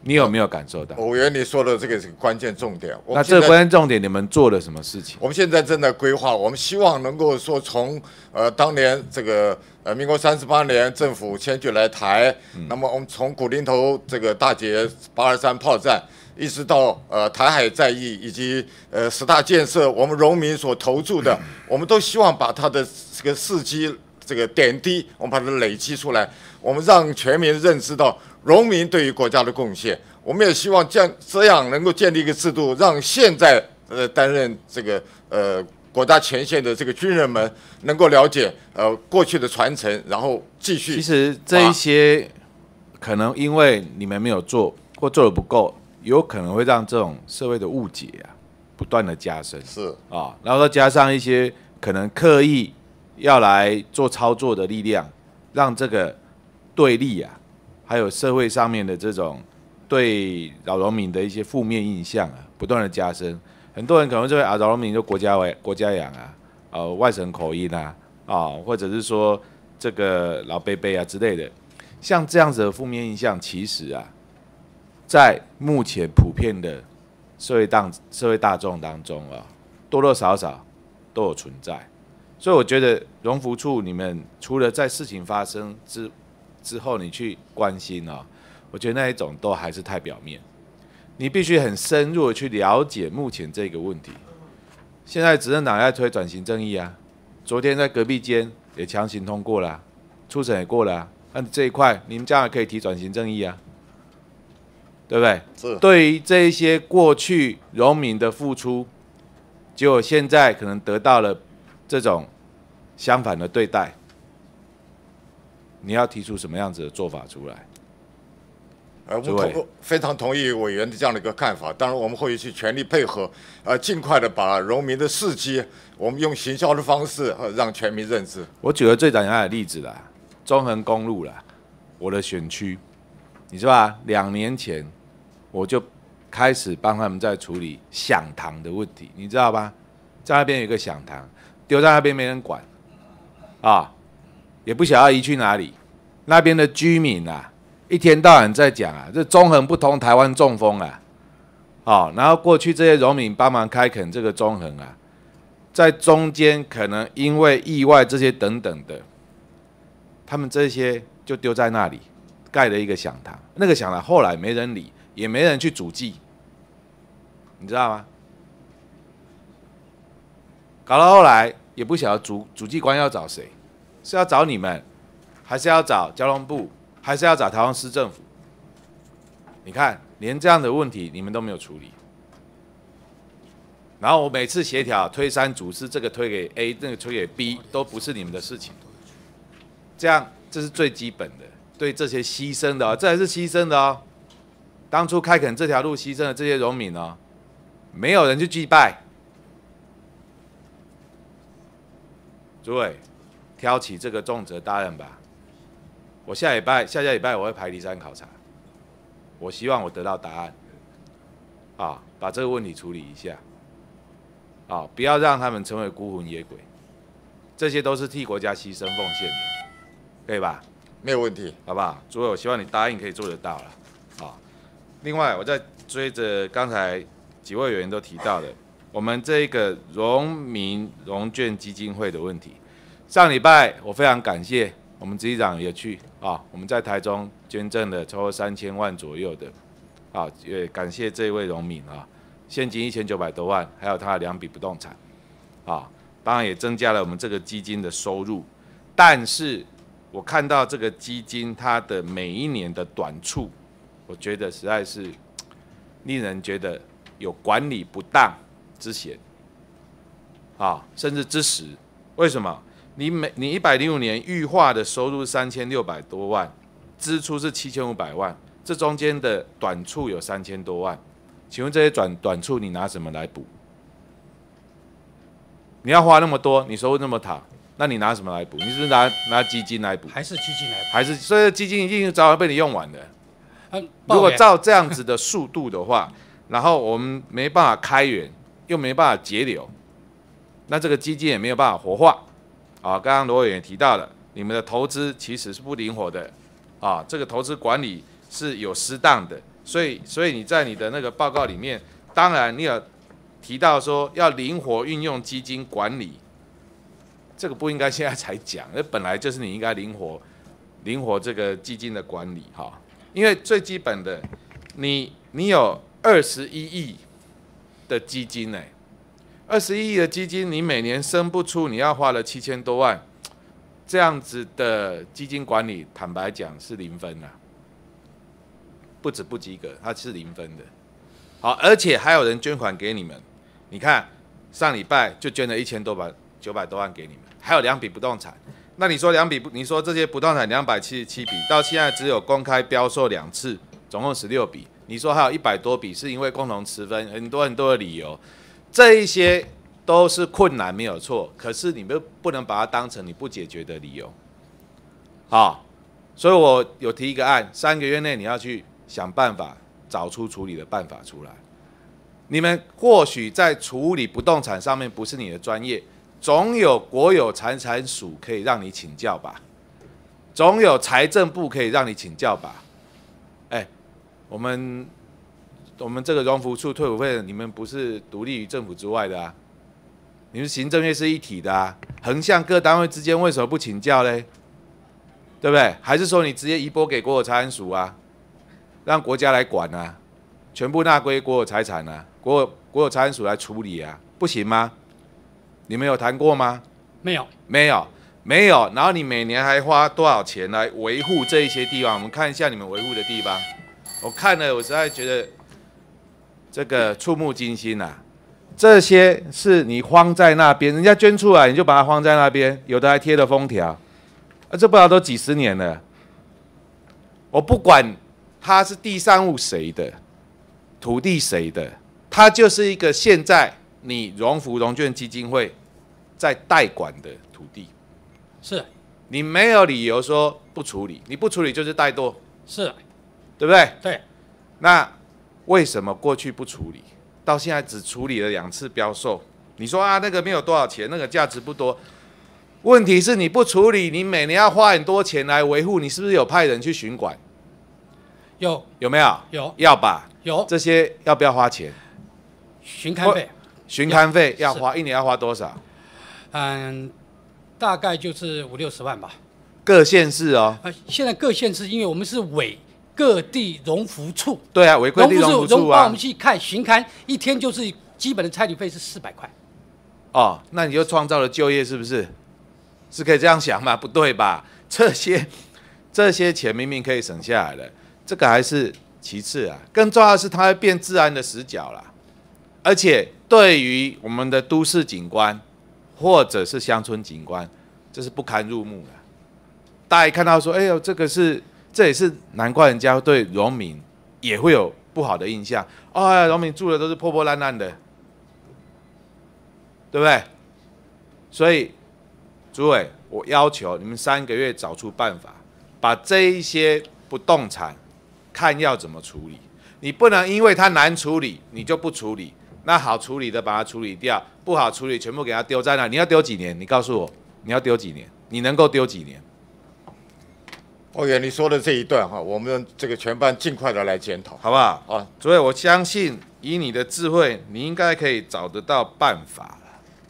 你绝对可以找得到办法了。啊，否则的话，我觉得这个啊，不只是对我们这个基金会的一个羞辱啦，对这些农民来讲，他的美意，他留下来的遗产，或者他要捐献出来的东西，让你这样处理，你认为他在天之灵会安吗？他不会安的。所以主委三个月给你们，是把它处理出来，看用什么方式，要跟本委员报告。还有我刚刚讲的。离山这个响堂的问题，你们要赶快处理，啊，否则对当地人来讲也是不安，对这一些牺牲的荣民来讲更是不敬，好不好？好的，好，谢谢。谢谢。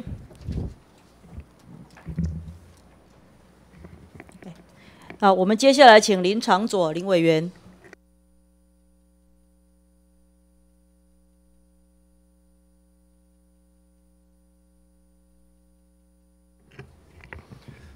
呃，我们请呃李主委以及呃那个荣民融券基金会秘书长。委员好，嘿，主委你好，呃，还有郑秘书长你好，呃，我想刚才几位委员提到的一些部分哈，能够不要重复，我就尽量不重复。但是因为这个我们平常在这个咨询的时候，我想很多的人民在看影片，他还是不是完全的了解全貌，所以我想第一个还是先是不是请这个秘书长再一次呃说明一下，就是荣民融券基金会设立的宗旨。是，荣民融券基金会是依据《两岸关系条例》第六十八条第四款，由当时八十二年九月十七号以前亡故的农民，这些款项原来代管机关是由退辅会，然后这个《两岸关系条约》进行这些退伍会进行把这些钱大概十亿捐助成立荣民融券基金会。然后办理下面四四个主要的工作，本来是只有第一项嘛，对不对？那是最主要的，最主要的。好，这些我现在跟跟委员报告的都是两岸关于条例里面的，我没有任何增加一条。我了解。这个事项，就刚你讲的遗产。第二个就是我们按重大意外伤害救助、奖助学金还其他福利福利事项。是。是，所以。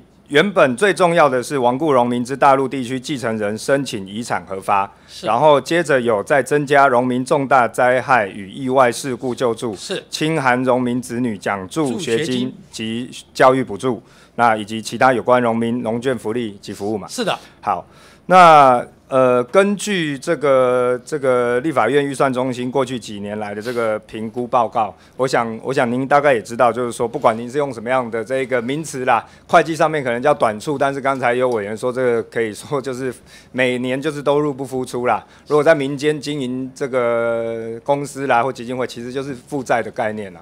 但是我想要在这边就不去这个光是批评啊，我想要。因为报告非常的简陋，所以我想请秘书长是不是可以说明一下，就是说你认为不佳的关键原因以及改善方式。不佳是，也就是每年都是这样短处，从这个一百年度短处两千七百万，一零二年一度到五千三百万，那今年预算书有今年的这个是三千九百万。是。那你认为这个不佳的关键原因，跟你可以改善的，让他你可以这个致富？嗯的的方式会是什么？从九十九十八年以前，并没有短促的现象哈。对，因为那个时候的基金来源分为三个部分，第一个就是我讲的孳息，那时候的孳息可能也高，有六趴有五趴，我们先不谈。第二个就是捐赠。对。啊，我们十九年的捐赠只有我我我算过，十九年这个生前捐赠只有两亿，所以大概每年都是一千多一点。第三个就是。八十二年以前就亡故的，他在各地农夫他会继续进来，钱还没处理完毕，或者现在刚刚报告那个房子，原来都是由各种财产在进来嘛，各农服处他们拍卖完毕钱给我们的，是，所以这个三笔钱就当做你支出，例如说我们今年的支出是七千多万。但是当时那次收入可能都超过都有一亿，那接着的话怎么办？因为后来就开始短。后来九十八年之后，不是因为这个钱少了或什么的，都不是，是因为九十八年之后认为八十二年以前亡故农民的这些不能再给你当支出了，只能列入基金。会计的那个，呃，列入基金就是这些钱你不能动，再不能动，你就一直要累积起来。你现在唯一能动的就是孳息和捐赠。一般的基金会如果要能够自负盈亏的做法。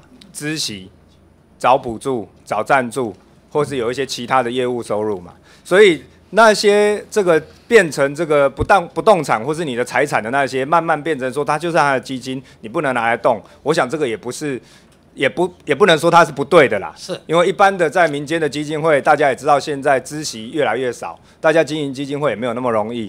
所以在这边我要问的是说，所以你认为接着的改善方法，因为你不能说这是因为会计科目的不同，所以怎么样嘛？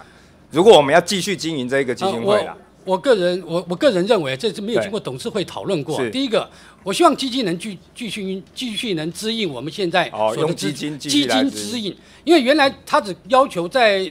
在这个组织章程里面，或是这个量管条只要求一点事情，创创立基金十亿好，是不能动的。这样子的话，其实这一个基金会会比民间的基金会亏瓦就贼，你知哦，会是会好过很多啦。因为一般的民间的基金会，算说是基金了的，以后就是真的不能动。那你希望说，哎，可不可以把前面的这样的改变？不过好，没关系，这是一个方法。第二个，我们有看到比较多的一个蛮大，大家也都有提到问题是土地的闲置的问题。目前我们有这个土地加上房舍加起来是大概三百多笔嘛。土地大概二四二，房舍六十七，但目前唯一有处理出去的一只有一笔土地跟一笔房舍的出租嘛。那这个问题，呃，我也想给你给这个秘书长一点时间，你认为接着应该要怎么处理？首先我要报告的是，即使这些八十二年以前亡故的这些北北留下来遗产交给我们，他也不能列入收入，他还是资金。基金我知道，啊，不能进入。第二个是这些从八十二年以前。交给我就是亡故这些，我们不要讲，就当时他在生前至新的话，现在也二十多年了。是我另外报告是因为这个原来我们不是直接处分的单位，对，原来处分是各地区荣福处，就是全省各地荣福处他在管的，是一直在一百零二年七月以前都是荣福处变卖完毕之后把钱。但是，如同刚刚那个姜委员讲的，就是这个这些房舍也不能一直没有管理，所以也也有请说秘书长是不是接着有要准备说，到底未来怎么处理这些闲置的？呃，我特别跟委员报告，我们委托专业公司，我们对这些不动不动产进行设计和这个再利用，我们希望能够好增加它的这个活化。那么当然，呃，这对整个基金会来讲是一个很大的注意。所以，所以现在基金会总共有八个人，对不对？八个。所以，我刚刚会为什么从现在马上遇到会被大家批评的一些事情，以及要怎么解要怎么解决，我会提出原问题的原因，是因为八个人，你可能一方面你要想办法让他不要再入不敷出，这是基金的管理。你里面有提到还要灵活运用基金管理，去列出可以投资的这个项目，投资基金，呃，来做这个基金的投资，然后还要做不动产的管理。还要做社这个社会救助的方面，办理贫困急难之农民一卷救助，而这些工作其实刚刚前面这个王定宇委员，呃，也有提过说，呃，这个蔡世英委员也有提过说，其实很多是退辅会自己本身就可以做，因此在这边我要强调的，那也是这个时代力量一直在讨论的，怎么样整并精简分工专责的原因，是因为我觉得八个人。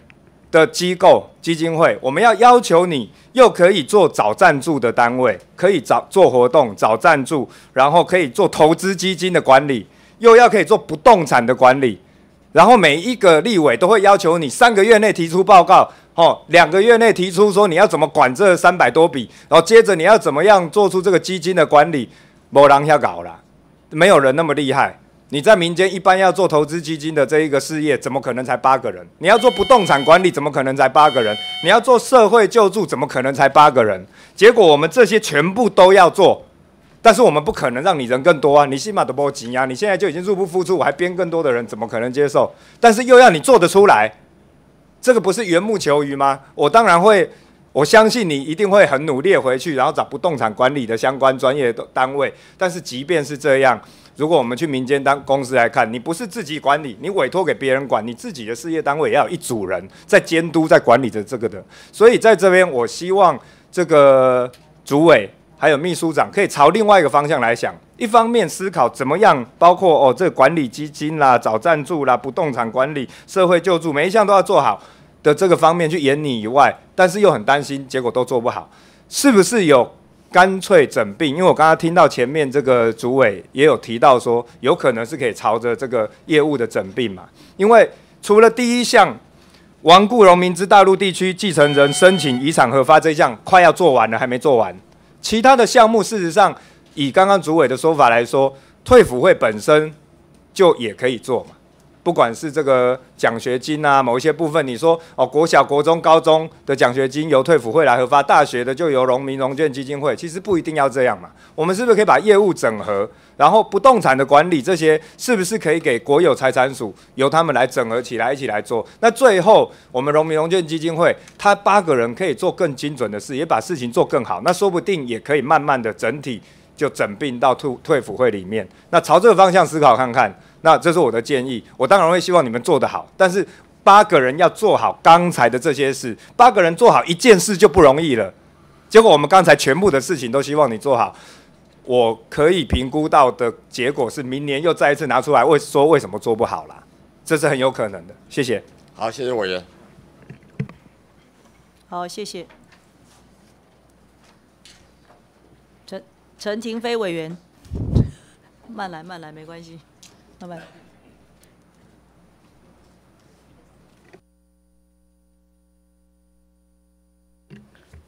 呃，谢谢主席哈，我们请主委。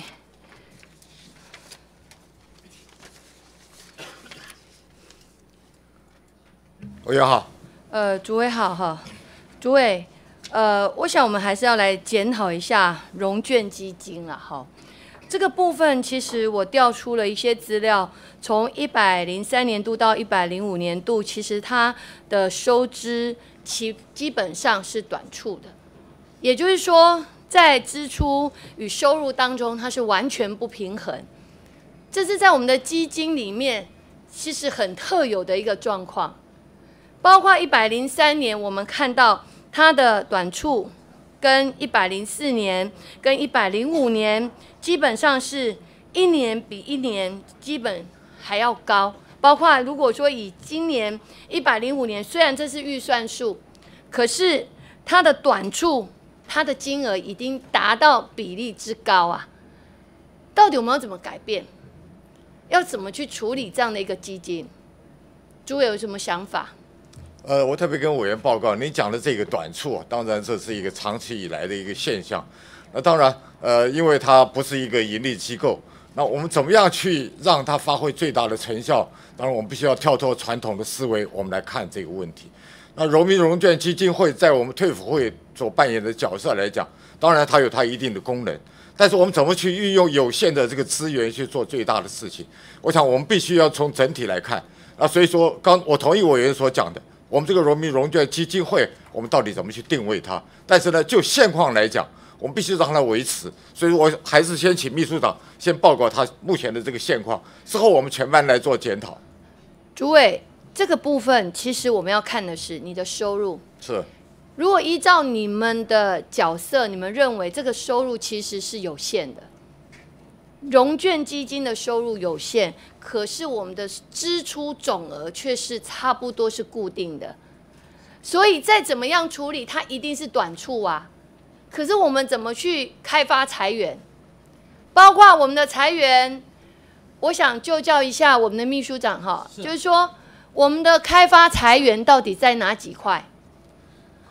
就是说我们捐助、捐捐赠、捐赠不捐助还不算，捐赠就是啊捐赠。第二就是知席，知席，知席就捐赠跟知席。是的。还有其他吗？啊，现在目前没有。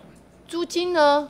啊，那啊比较少数就是您看看的那个就是年度比较少啊，还有土地的租金都不行，租金什么都不行，租金拍卖都不能列入收入，因为它是八十二年，它是八十二年这个九月十七号亡故农民所遗留下来的财产都要列为基金，不能列入收入。对啊，列入基金，可是还是在这基金里面让你们去运用嘛。现在就是我们，所以我们不谈云用这个问题，就是那，就是转正的原因就在这里。那你请问说，我们的财产不能算我们的收入？好，你说避开这两个字不要算收入，那总是在我们的基金里面吧？是的，就是租金也在我们的基金里面，在基金里面，你所贩售、你所呃这个贩售出去的土地也算是在我们的基金里面嘛？对呀。所以这些还是可以用啊！啊，可以用。所以我，所以你的来源应该是在资金还有土地的一个贩售的部分嘛，对不对？是的。出售的部分嘛。啊，出售、贩售或是他钱拨进来，是的，有这三个来源没有错。对啊，可是你刚刚只有说两个来源，表示你以前就不认为那是你们的财源之一嘛？是，所以你们就不会积极去做这一块的一个推动，还有所谓的检讨。我为什么这么说哈？我把这个资料哈，这个是你们给我们的最新资料哈，大概。我们从融券基金会所有的不动产，就是我们的顽固农民所遗留下来的这个部分，我们把它总总 total 把它统整起来，大概在土地北部有一百笔，中部有五十四笔，南部有九十一笔，东部有十八笔，总共合计是两百六十三笔。建物的部分，北部有。登记一一个一个登记，中部有一个登记，南部有两个登记，所以总计是二十二十，呃，包括其他个未办的部分，总共大概有二十五个部分。好，有二十五个部分，所以这样加总起来，大概我们将近有三百笔。所以这三百笔的部分，我们怎么去处理啊？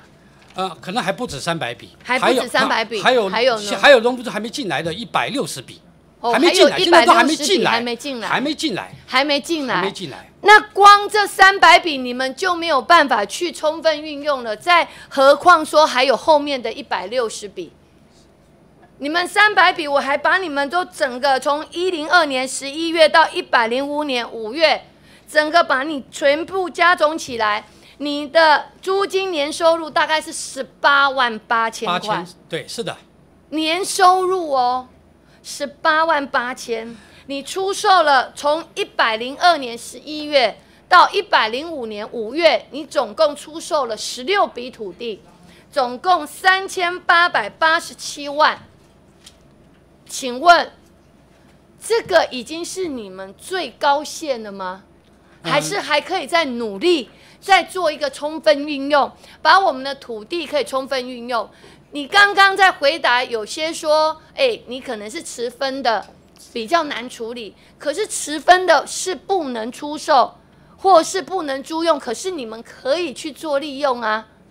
你们如果做利用之后，可以让它加值，基本上也是对你们来讲，也是一个成本来源、收入来源嘛。是的。是不是？是的。所以今天如果我看到你们的资料是，反正光秘书长所回答的，你们有两个来源，一个是捐赠，一个是孳息，你就没有讲到土地，你也没有讲到租金，所以变成你一直不认为说这是你们可以去开发的，可以去努力的空间，这也是我们所担忧的。所以我今天会调这些资料，我只是要麻烦主委。我刚刚问了，好，你也听到了，表示我们一直不把它当成一回事。所以，我们如果把这些土地三百笔，在外加有一百六十笔刚要进来，如果依照这样的状况的话，总共四百六十笔。其实，如果我们把它好好的利用，它也是可以是一笔它的财源。或许我们不把它当成收入。可是，毕竟它是一个裁员，是增加我们基金的裁员，所以我认为这是我们可以去动的，而且可以去努力的空间。我非常同意委员这样的一个说法。呃，其实，如同委员刚刚所说的，我们主要的收入，孳息、捐赠，但是呢，从捐赠里面我们可以把它活化，因为我们呃农民他是属于很特殊对国家奉献的一个社群，那我们怎么样去争取？农民融券对于我们这个族群，他的认同，我们希望增加创新的作为，强化它的行销。农民融券，它对于这个基金会的捐赠，恐怕是未来最大笔的收入。那怎么样去运用不动产？我们委托专业，让他感觉到农民是被重视的，农民的纪念是被大家怀念的。那我们有相关的这些纪念，那可以去行销。那我们这个基金会资金当然就活化了，朝这个方向我们会去变成有价值感啊，否则这些融券把这些土地捐给了我们融券基金会，然后融券基金没有去做有力的运用、妥善的运用，反正是让它就是躺在那里，躺在那里它就是死的。你把它活化，它就变成是钱，就是财源。所以我认为这个一定要积极而为，所以希望这个检讨是不是可以一个月，一个月给我们办公室，到底我们未来在这一块土地的活化当中应该怎么处理，好不好？啊不委员，你给我太大的压力，我尽量来做到。好，不会啦。其实我觉得有很多有经验的啦，我们可以去寻求更多的协助啦。好其实我们不再是封闭的，我们希望是说，我们退辅会在很多的资源当中，还有我们的财源当中，共同去把它创造最高价值，这才是我们要的。那主委还有另外一个部分，就是说泛亚工程的部分，其实真的是要检讨、检讨再检讨。泛亚工程公司其实在这一次桃园机场，过去也有很多的案例，可是或许没有像这一次这么的严重，所以可能媒体报一下就不见了，所以大家也没有继续追。如果像桃园机场这一次这么的严重，包括它在整个道路拓宽的工程当中，如果真的是垃圾乱丢，造成整个排水系统阻塞，这严重哎、这是整个我们的门面，整个国门都已经蒙羞了哎、这是非常严重的哎、第二个部分是，如果说他今天工程真的去把水管挖掉了、挖断了，造成我们所有的马桶不通，这更是可怕。如果他是有经验的，怎么可能会这么样的一个施工品质呢？所以真的是要检讨、检讨再检讨啊！董事长我们可以动，但是总经理呢？虽然我们没有办法，你说不是我们可以直接派任的，可是我们的董事会还是要检讨啊，还是要决定啊。所以我认为这个部分我们不能等闲视之，我们一定要做出一个检讨的机制，然后给国人一个交代，否则这一件桃园机场实在是太大了。主委，可以吗？呃，我我同意委员这样的一个说法，我们分成三部分。第一个，我们人事马上做检讨；第二个，我们责成呃董事会，我们对于所有的管理作为，我们要做一个全盘逻辑性的检讨；第三个，往后转转投资企业，我们参加委员会，我们共同来检讨。这个部分多久？检讨多久？一个月之内我们就做完。一个月之啊内一定要赶快，否则整个我们桃园机场的事件被一爆之后，然后泛亚工程公司这样的一个施工品质，我觉得真的会让大家很担忧。谢谢。好，谢谢委员。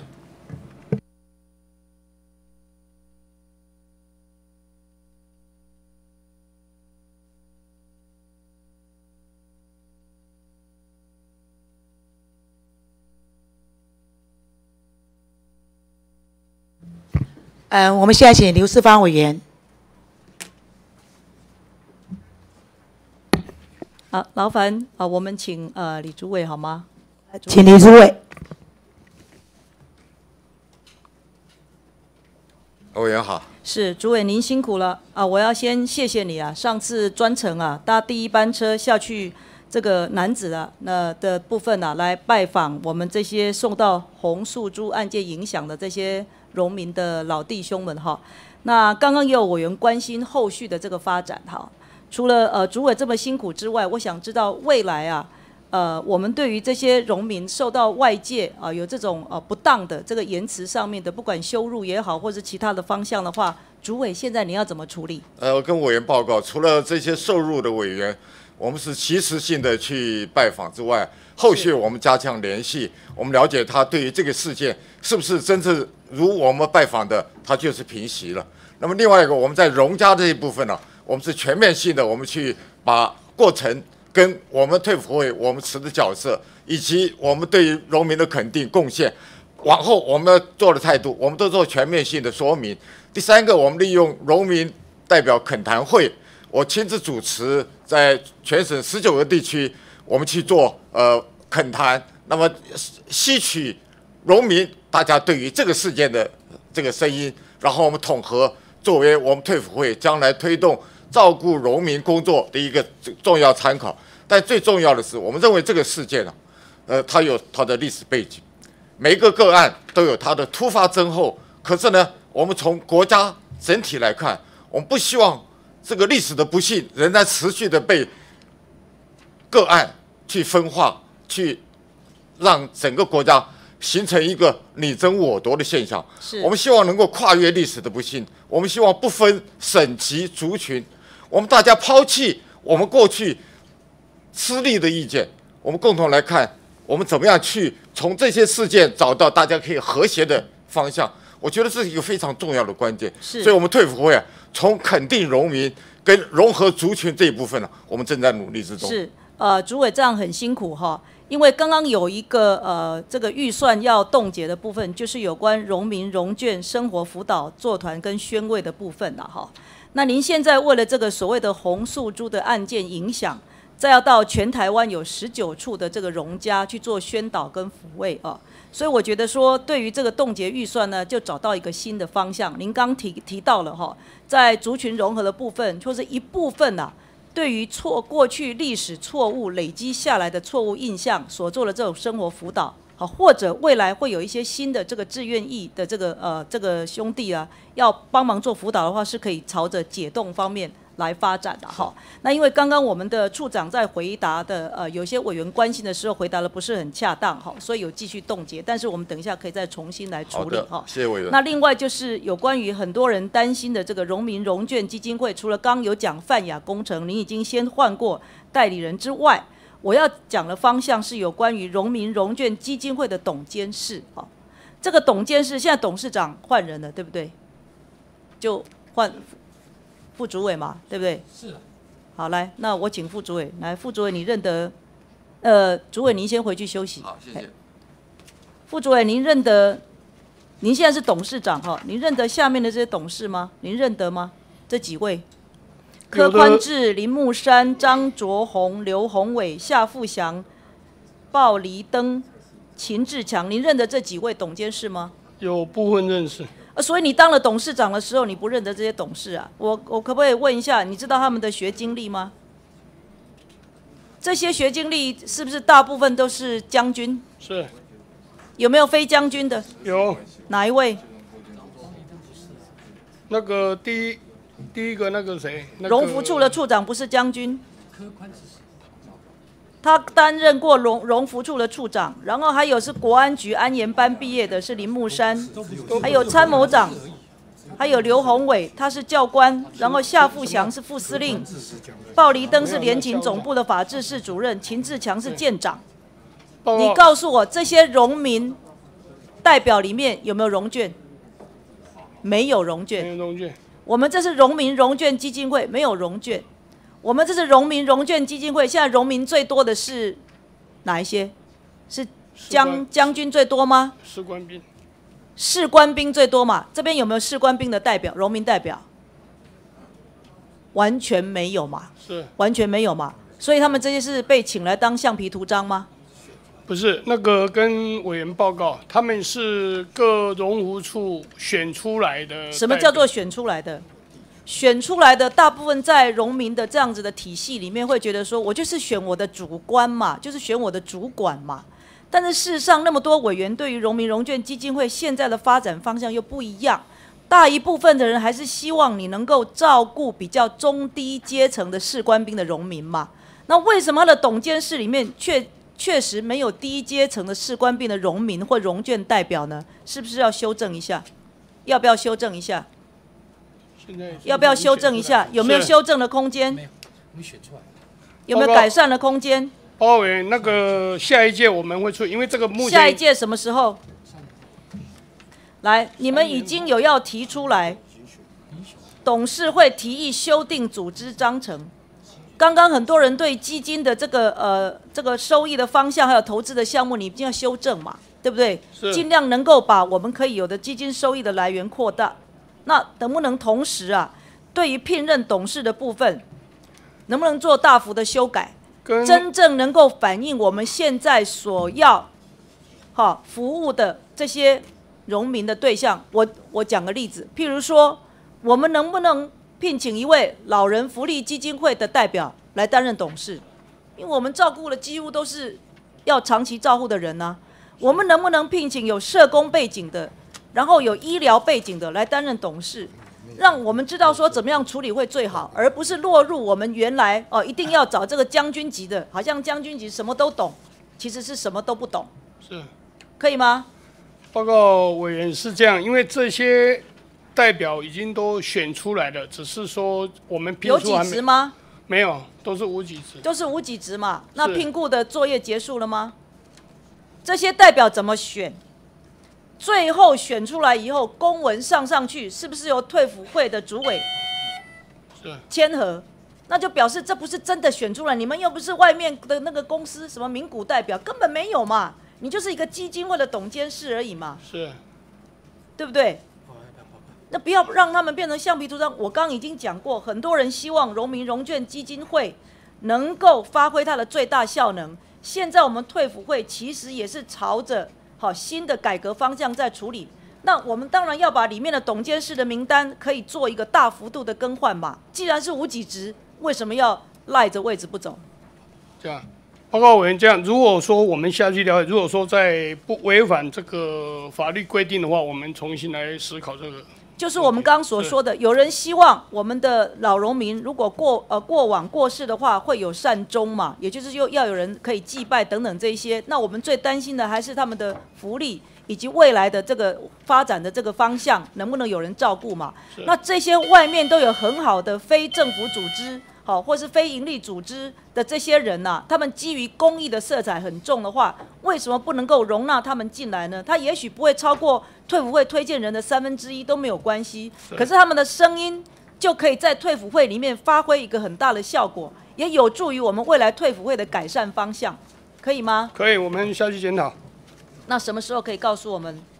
你不急着改换董监事，也许董监事有他的任期，可是我要知道一下，如果修改你的组织章程，扩大你的捐献收入的来源，刚刚哦秘书长有提到了，或者是我们董监事可以改换，让整个的基金一起改嘛？是有没有可能？什么时候可以告诉我们？报委员，像这一次的董监第八届，七月一号上任的啊，第八届，这五个荣民之中就有三个是士官，有融券吗？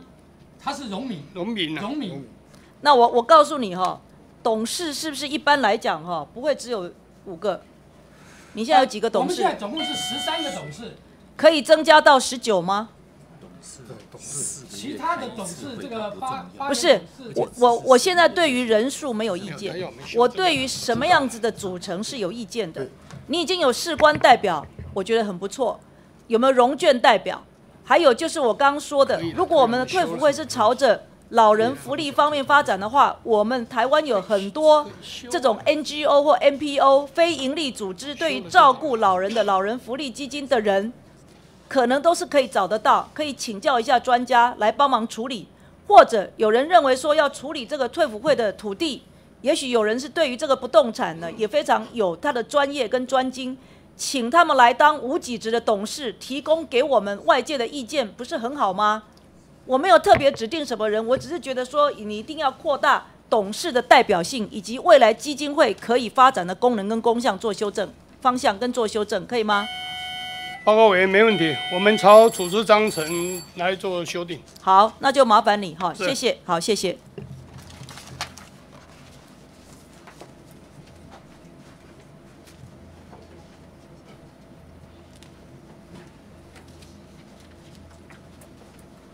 谢谢。那我们再来请吕玉玲刘委员，谢谢。主席，请你不呃李主委。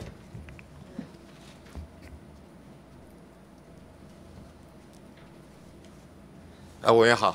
主委，本席非常关心的，就是我们退辅会所有关心所有退伍军人，所有后来的照顾跟所有的业务的执行，有没有落实到最基层的实务执行？为什么？因为现在的国军就是未来的退伍的军人。所以，我们退伍军人照顾的好不好，我们的国军都在看，这是一个铭记，所以我们才能够帮助到他们，可不可以在我们国防部募兵会不会顺利成功，这是很关联性的，对不对？是，非所以常同意委员这样说，我们也朝这个方向努力。希望我们的主委要朝这方面来做，因为我们要让募兵成功，我们的国军可以看得到他的未来、他的前途、他的希望，甚至我们对他们以后的照顾跟关怀，这才是最重要的。所以您的业务执行面是非常重要，所以本席要希望您好好的做。那有关今天在审查我们的基金部分，有几项我看了真的是要好好的检讨，尤其是我们每次在编列预算的时候，收入跟支出必须要平衡的。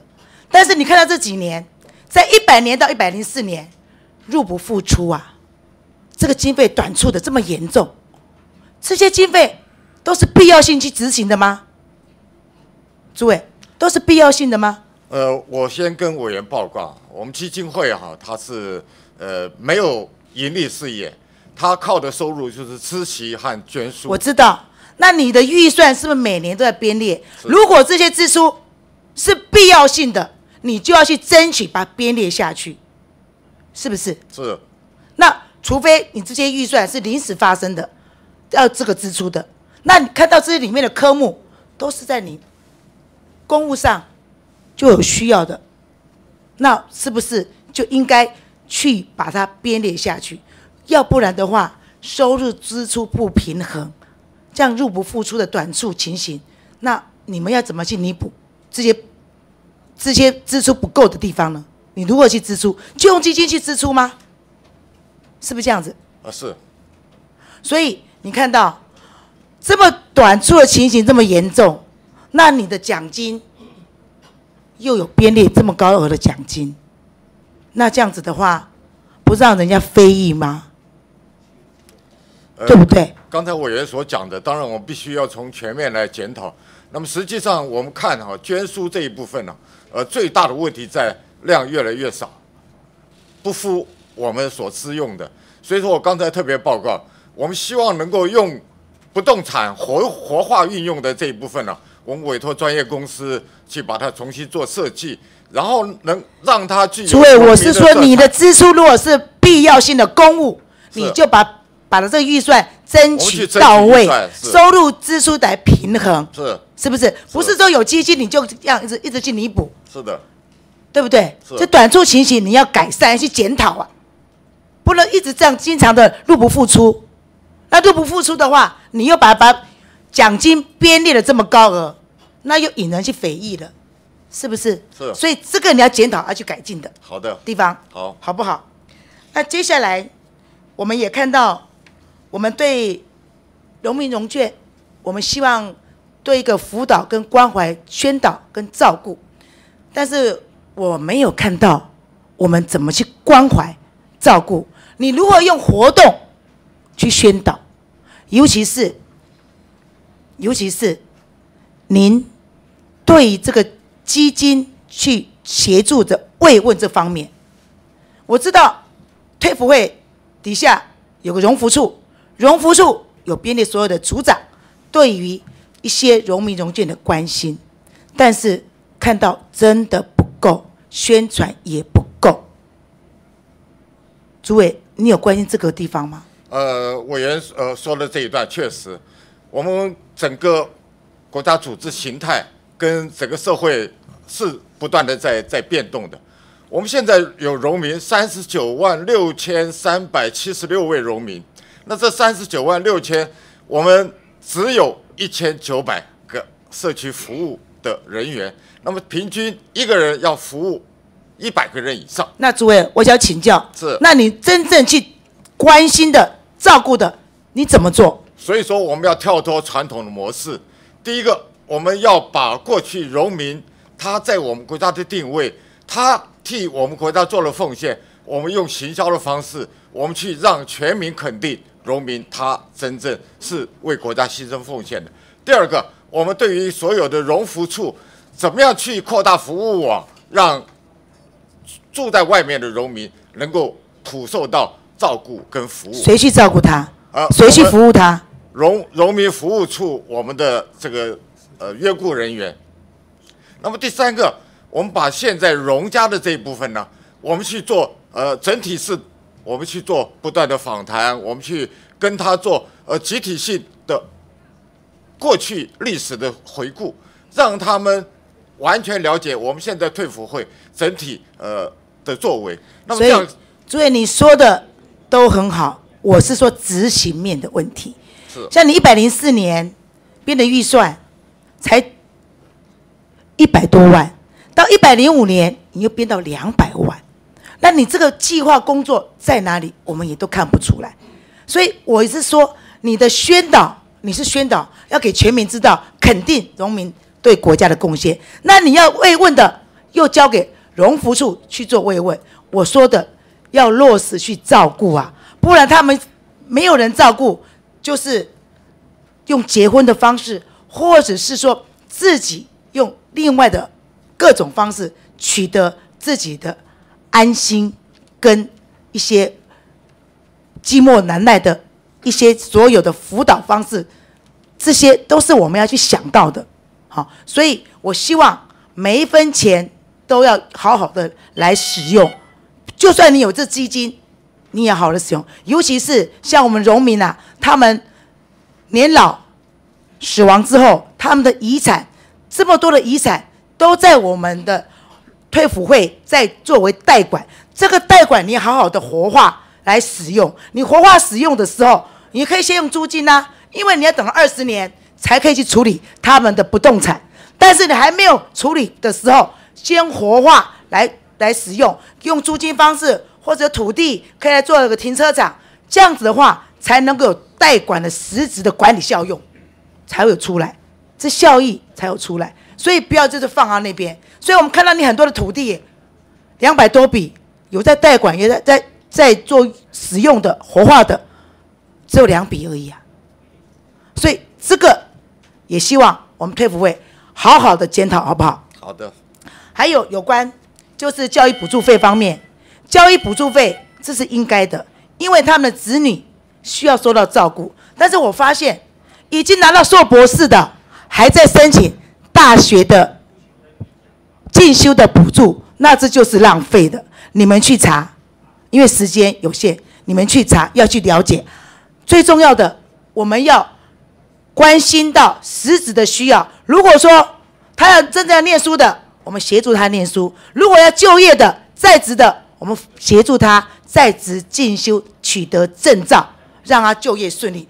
这个才是实质面的。主要我今天跟你谈的，就实质的，你不要跟我讲一些官方语言的宣导，不要实质去照顾他们的需要，把效益发挥出来，好不好？好，没有问题。接下来很多的关心，我们都从媒体知道，就包括荣民制药。这个荣民制药现在是谁在管理？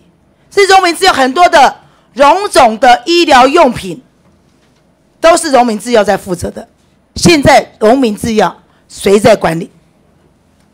呃，我跟委员报告，我是事业管理处长。农民制药哈，我们目前本会啊持股是百分之四十，另外一个大股东是信东生技公司，他持股是百分之五十六。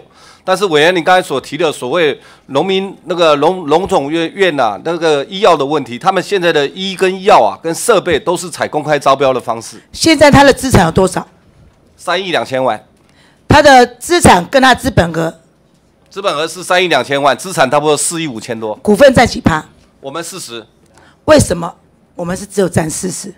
不当初哈、农民制药厂是农民制药公司啊，那个民营化，那我们把资产作价，那时候取得的股权就是百分之四十，到现在都没有跟动过。改成民营的话，我们就变成是小股东吗？我们没有主导去管理吗？我们为什么是四十趴而不是五十趴呢？呃，我跟委员报，那时候是以那时候的呃机器设备厂房去做资产作价。这件事情是哪位主委决定的？呃，这从前任的一前任的主委九八七年一直到两千零两千零一十六年呢、这么多位主委，这件事情是哪一位主委决定的？呃是哪位主委决定？我要去查去查一下。什么时候民营化、啊？两千零六年民营化，两千零六年九十五年嘛，民营化。是因为我们的荣民制药是赚钱的公司，我们把民营化，它又是最主要负责荣总医院的所有医疗的药品。我们为什么要四十趴？我们不能去主导去管理，所以这个的管理就有问题了。所以在两千零六年的时候，这么多个主委，还把这个民营化，用四十趴的股份，我们没有办法去主导。为什么要给东信？是信东生技公司，信东，那信东生技公司它本身做什么业务？它说也是制那个产药的。对呀、那它到底是要信东它自己的产业去发展，还是荣民制药去发展？所以这个合作的空间里面，我们得到什么？报告委员，谢谢委员的指导。其实我们就是因为那个荣耀公司啊，近三年都连年亏损，所以我我们在一百零一年七月啊，都已经报行政院，我们准备啊去撤资，因为他啊那个公司经营年年亏损，因为目前为止啊已经累计亏损到一亿多元了。你要讲清楚。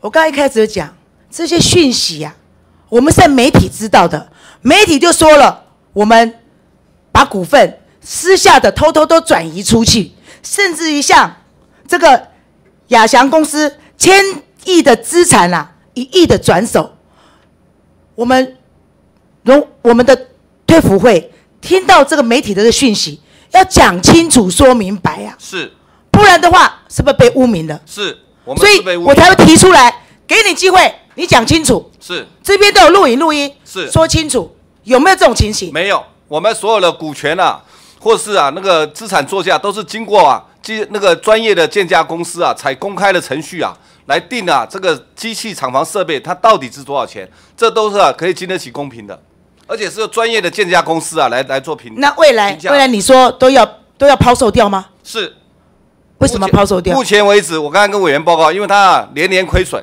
所以啊呃不符合我们投资目的，而且啊它的安置率也远低于我们持股率。那为什么这我们在一百零你在抛售当中，为什么人没有人要买？呃，因为我们现在因为因为哈，我们估出来了每股价钱是七块钱，但是呢，在市场上啊，他们都认为啊，这家公司因为年年亏损，所以没有任何啊投资人愿意接手。因为股份只有四十趴，我没有主导权去改变这个经营模式，所以没有人要来标售，所以没有人要承接你。讲对了，控制是不是这个因素？控制权是是个啊、所以你们当初决定的主委就决定错了，才会年年亏损。我们没有主导权嘛，包括着未来，你看很多荣民制药、国华海洋、荣友贸易、荣电公司等等，还有很多我们新字辈的一些产业，这些我们的推辅会好好的去了解、去经营，专业的去管理。是一定要把我们的基金妥善的管理妥当，是才能够照顾未来的退伍所有的军人。报告委员，这些钱啊都是国库转投资，所以啊我们会善尽管理职责，我特别跟您保证。所以我刚刚举例出来的农民制药这个事情，是你们要去检讨我们会改进，维护啊国那库的最大利益为考量。不是口头上说的，是实质上去了解清楚，是的，好好的管理，是，谢好不好谢委员。谢谢，谢谢。好，我们再来请赖世宝委员。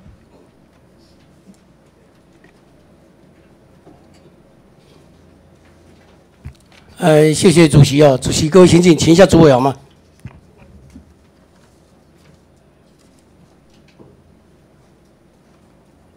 委员好，哎，诸位你好，这个我念一段哈、这是媒体整理过的哈、民国四十七年，农民参与横贯公路跟宜兰的支线的建设殉职啊，死掉了三十个人。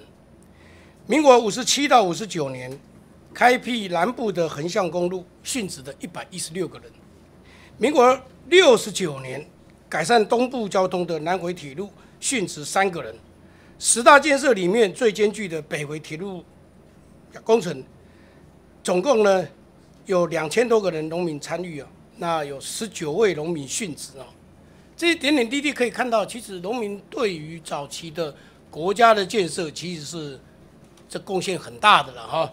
我们在这里做任何事情呢、啊，特别是你是特委会主委啊，我想要念之在之，所以在想说这一些这一些的老农民好了，他对于台湾的有今天的这样的进步啊，其实当初他们的贡献非常大，把命都赔上去了。这是一段媒体啊讲的话，我特别呃提出来了哈。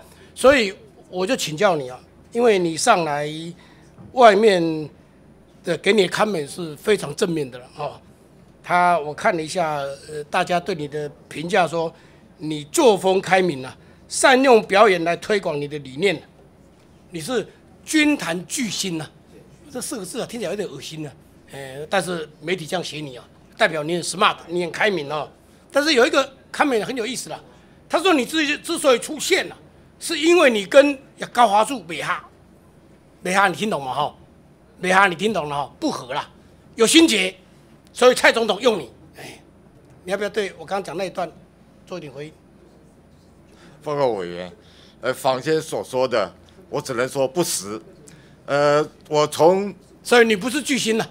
我从民国六十三年陆军官校毕业，我一直兢兢业业的在我每一个工作岗位上，当然能够呃获得国家栽培，然后把过去所学所能运用在我现在的工作岗位上，我觉得这是我个人的福分，我会全力以赴。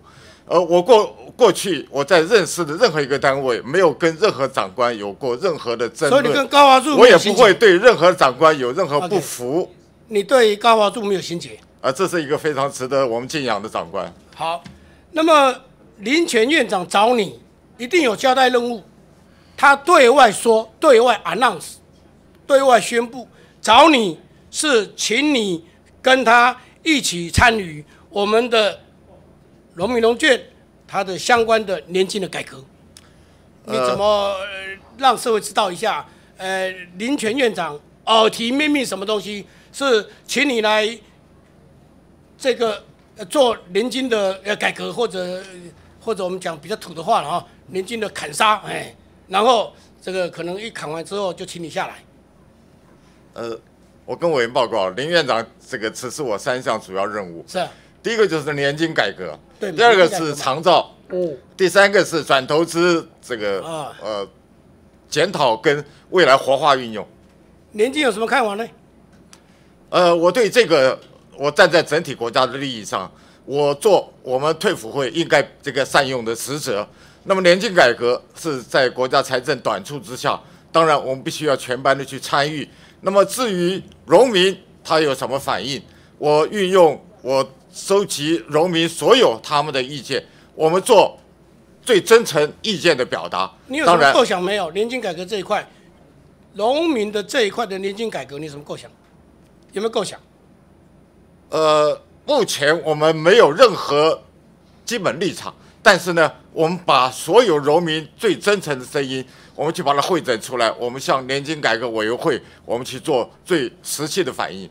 年前院长给你交代三个任务，第一项就是年金改革。到现在为止，你没有任何的看法跟想法，我是觉得很奇怪的哦。一个你是政务官，而且我刚刚也提了哈，当你在挥这把挥这把刀的时候，请你记住我刚才念那一段话。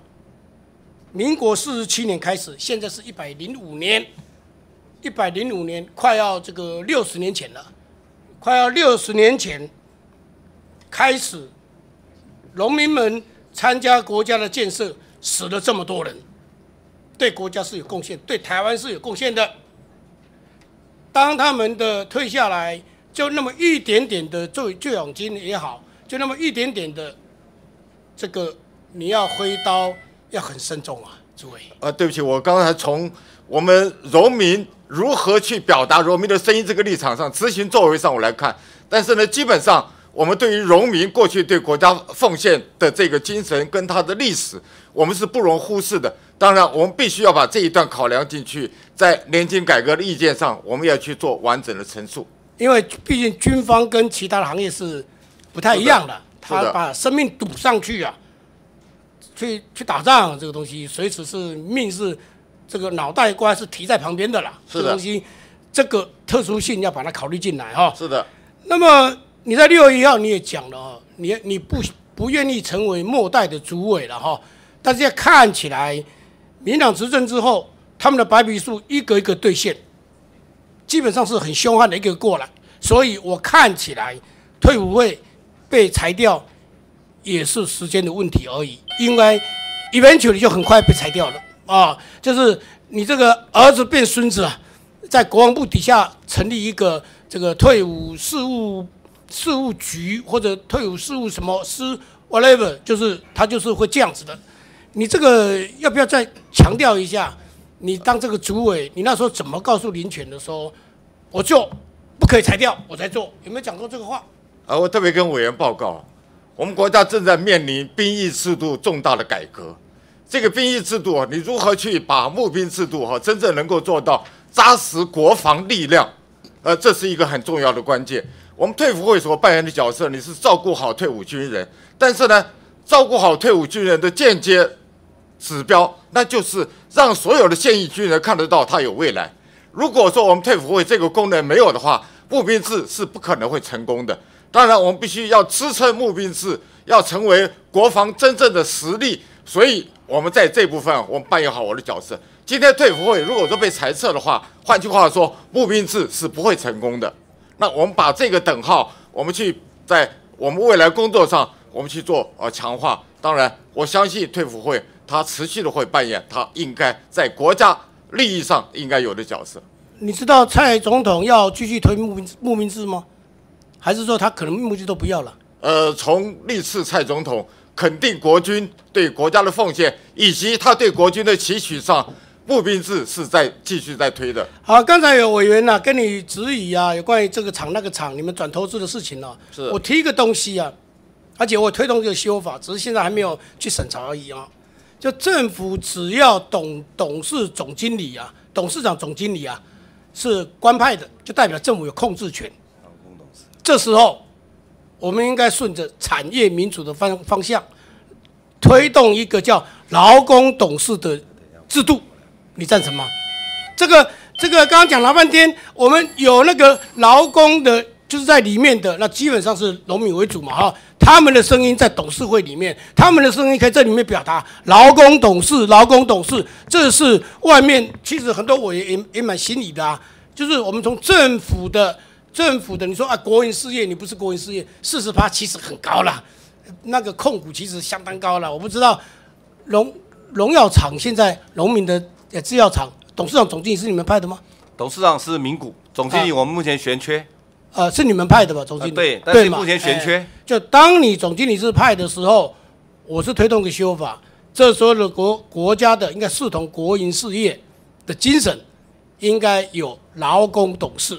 鲍委员，这个您上次有要求提过这个事情。那我们在上周一投资汇报，我们所有董事长、总经理回来开会的时候，我们特别把赖委员的这个意见啊，在会中表达。我们希望我们的所有的高阶经理人回去之后，跟民股啊去沟通观念，呃，希望啊能够民股也能够重视劳工利益，那希望能够促成这个事情。这个事情我们已经交代啊，所有的那个转投资公司啊，去跟民股协调这件事情了。你把那个报告给我一份可以吗？是啊，是我们有会议记录的。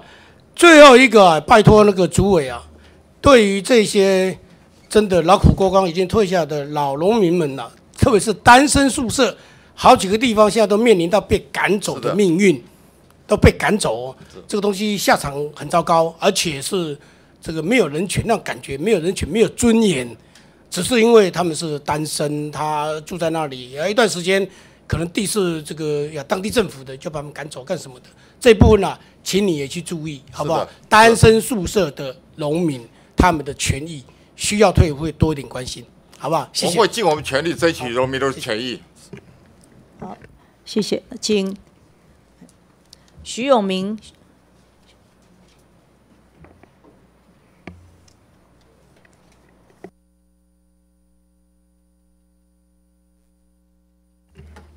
呃，有请诸位哈。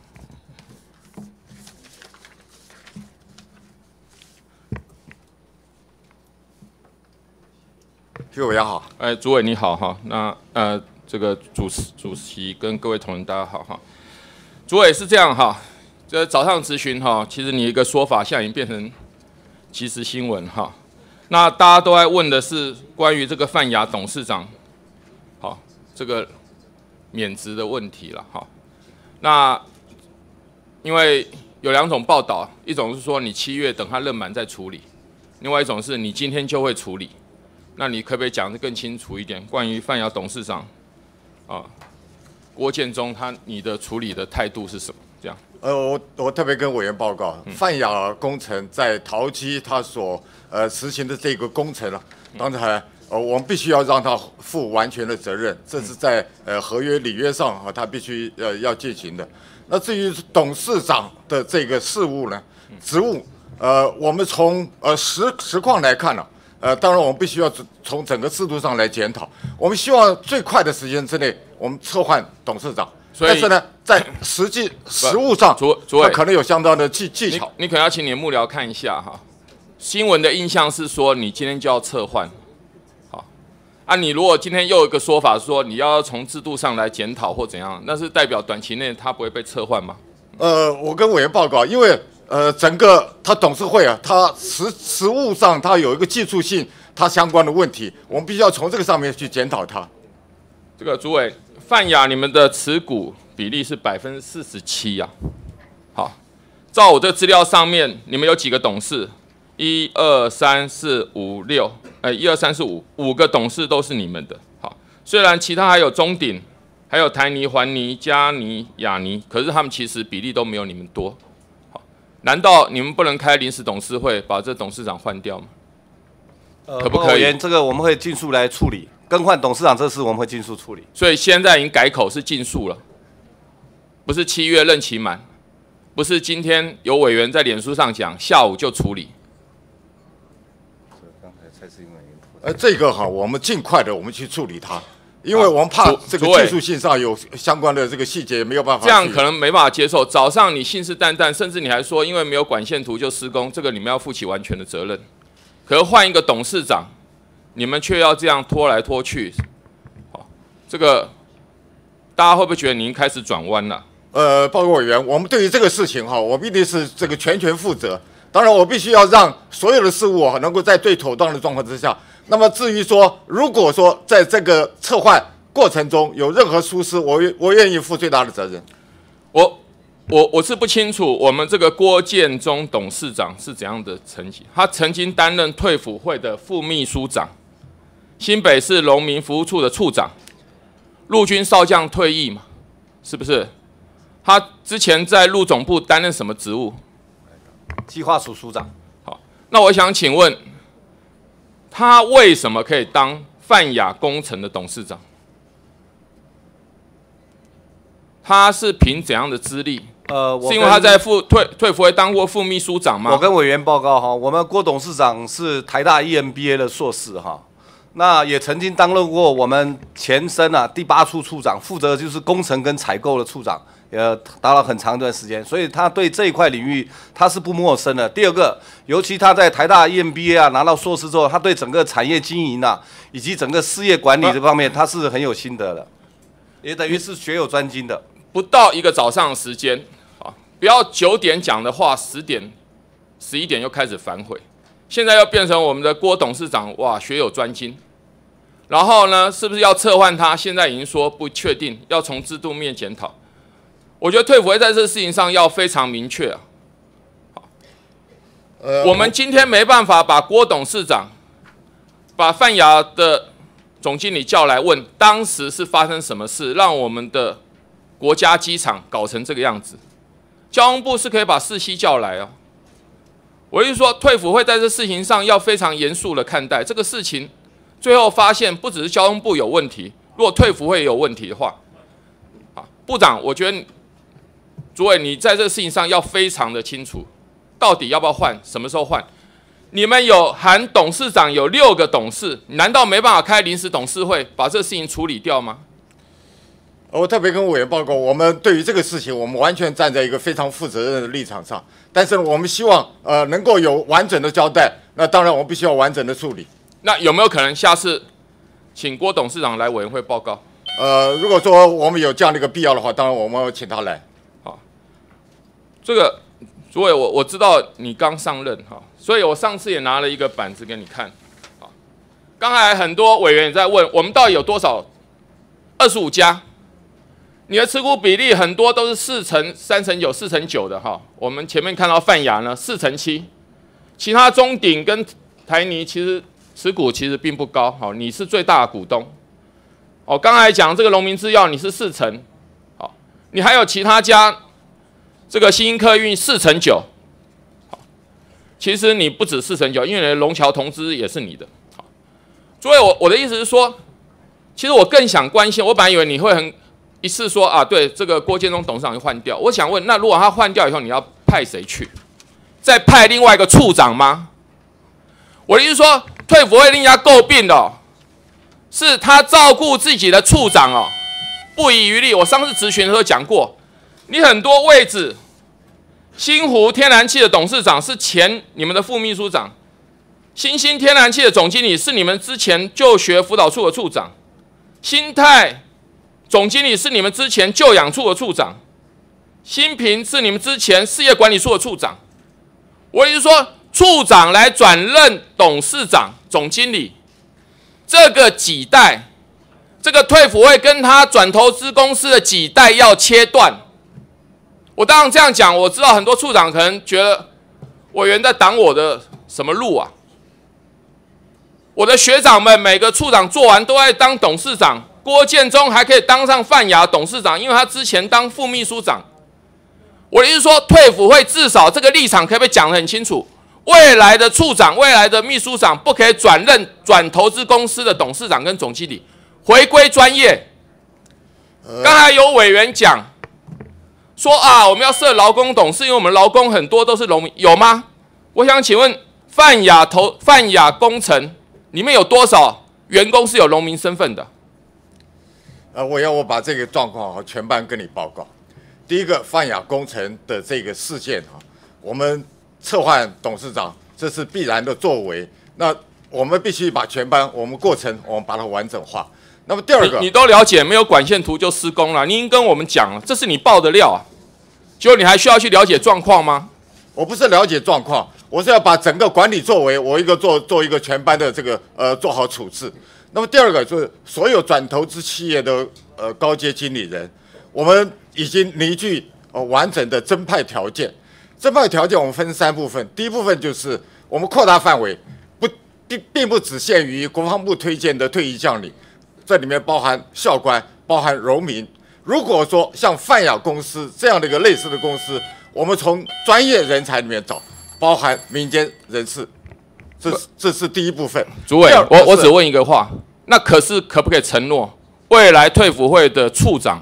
管理阶层不会转任转投公转投资公司的董事长或总经理。如果说我们不是在一个筹用的范围，或者是说因为他在退辅会待那一段时间，他可以走这个旋转门，我们是绝对不会做这件事情的。我特别跟委员报告。那么第二第二个部分了，我觉得主委这不只是旋转门的问题。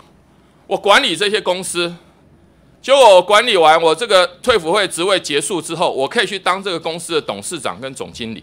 委员，你放心，我们绝对不会做这件事情。而且我们在高阶，你现在很多位置都是这些处长来做的，未来可不可以斩断？我我只是问这一句话：这个几代可不可以把它斩断？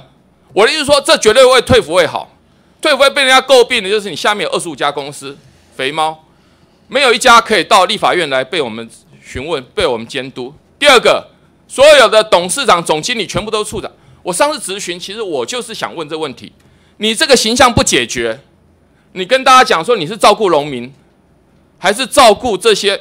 而且每个处长之前都是在部队里面是校校级或降级，这个职位做完以后来当退退辅会的处长，退辅会处长完以后去当总经理、董事长。我又跟你主委，这个生态要切掉，你这个顾虑是绝对不会发生的。同时。我必须不会发生，现况就是这样。我必须要把整体高阶经理人他的增派规规范，我把它律定的完整清楚。你可以看得出来，没有这一条。你让未来来处退辅会工作的处长们了解一点，他来就是来服务农民、照顾我们退伍军人的，而不是未来可以去当董事长或总经理的。可不可以宣示这一点？我们这个所有的规范里面没有这一点。换句话说，现在在座的他不会去担任，这是你说的哦。是我现在所有在职的处长们，哦，对不起哦，这个处长我，希望你们心里不要太难过。未来绝对不会担任转投资公司的董事董事长或总经理。我我刚才跟委员报告的非常的清楚。那现在是的，未来可不可以处理，让他更专业化？成立一个委员会，公开去遴选，可不可以？我相信你们要照顾农民的方式，不是安排这些将军、这些将领们去担任这些位置，而是你赚出来这些钱是用来照顾农民，或是前面你讲的年金改革的事情呢、或是长照的事情，应该是投资在这上面，直接照顾到我们农民的这些朋友身上，是不是？主委，你讲的现在的处长们，现在的管理阶层绝对不会转任那为了哦，对不起，现有的可不可以积极处理？而现有的，我们从我们成立的第二第二部分就是产官学评鉴小组，它绩效评估这里面，我们去做衡量，好不好？把这小组组成，好不好？跟立法院报告。好，谢谢。没有问题。呃谢谢委员谢谢，谢谢。好，接下来我们请马文君马委员。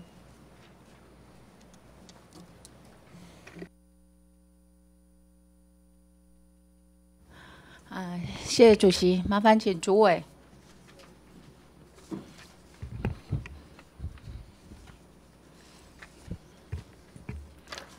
委员好，主委，不好意思，应该可以让你慢慢喝一口水。呃，今天大家讨论就是我们荣品融券的这个基金，不过在这里我想要特别先提出来，退辅会，因为其实我们所有包括退辅会存在的意义，还有这个基金会的设置，其实很重要的一个因素都是要照顾农民。可是我想，呃，本席在这里要特别提出来，退辅会对于呃救养医疗的人力问题，我认为不够重视。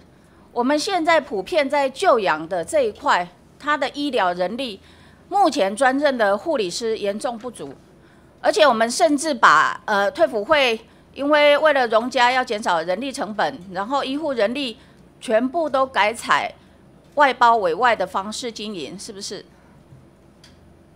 呃，我们请救养处跟你报告。简单说明就好了。主席委员好，我是教养处副处长。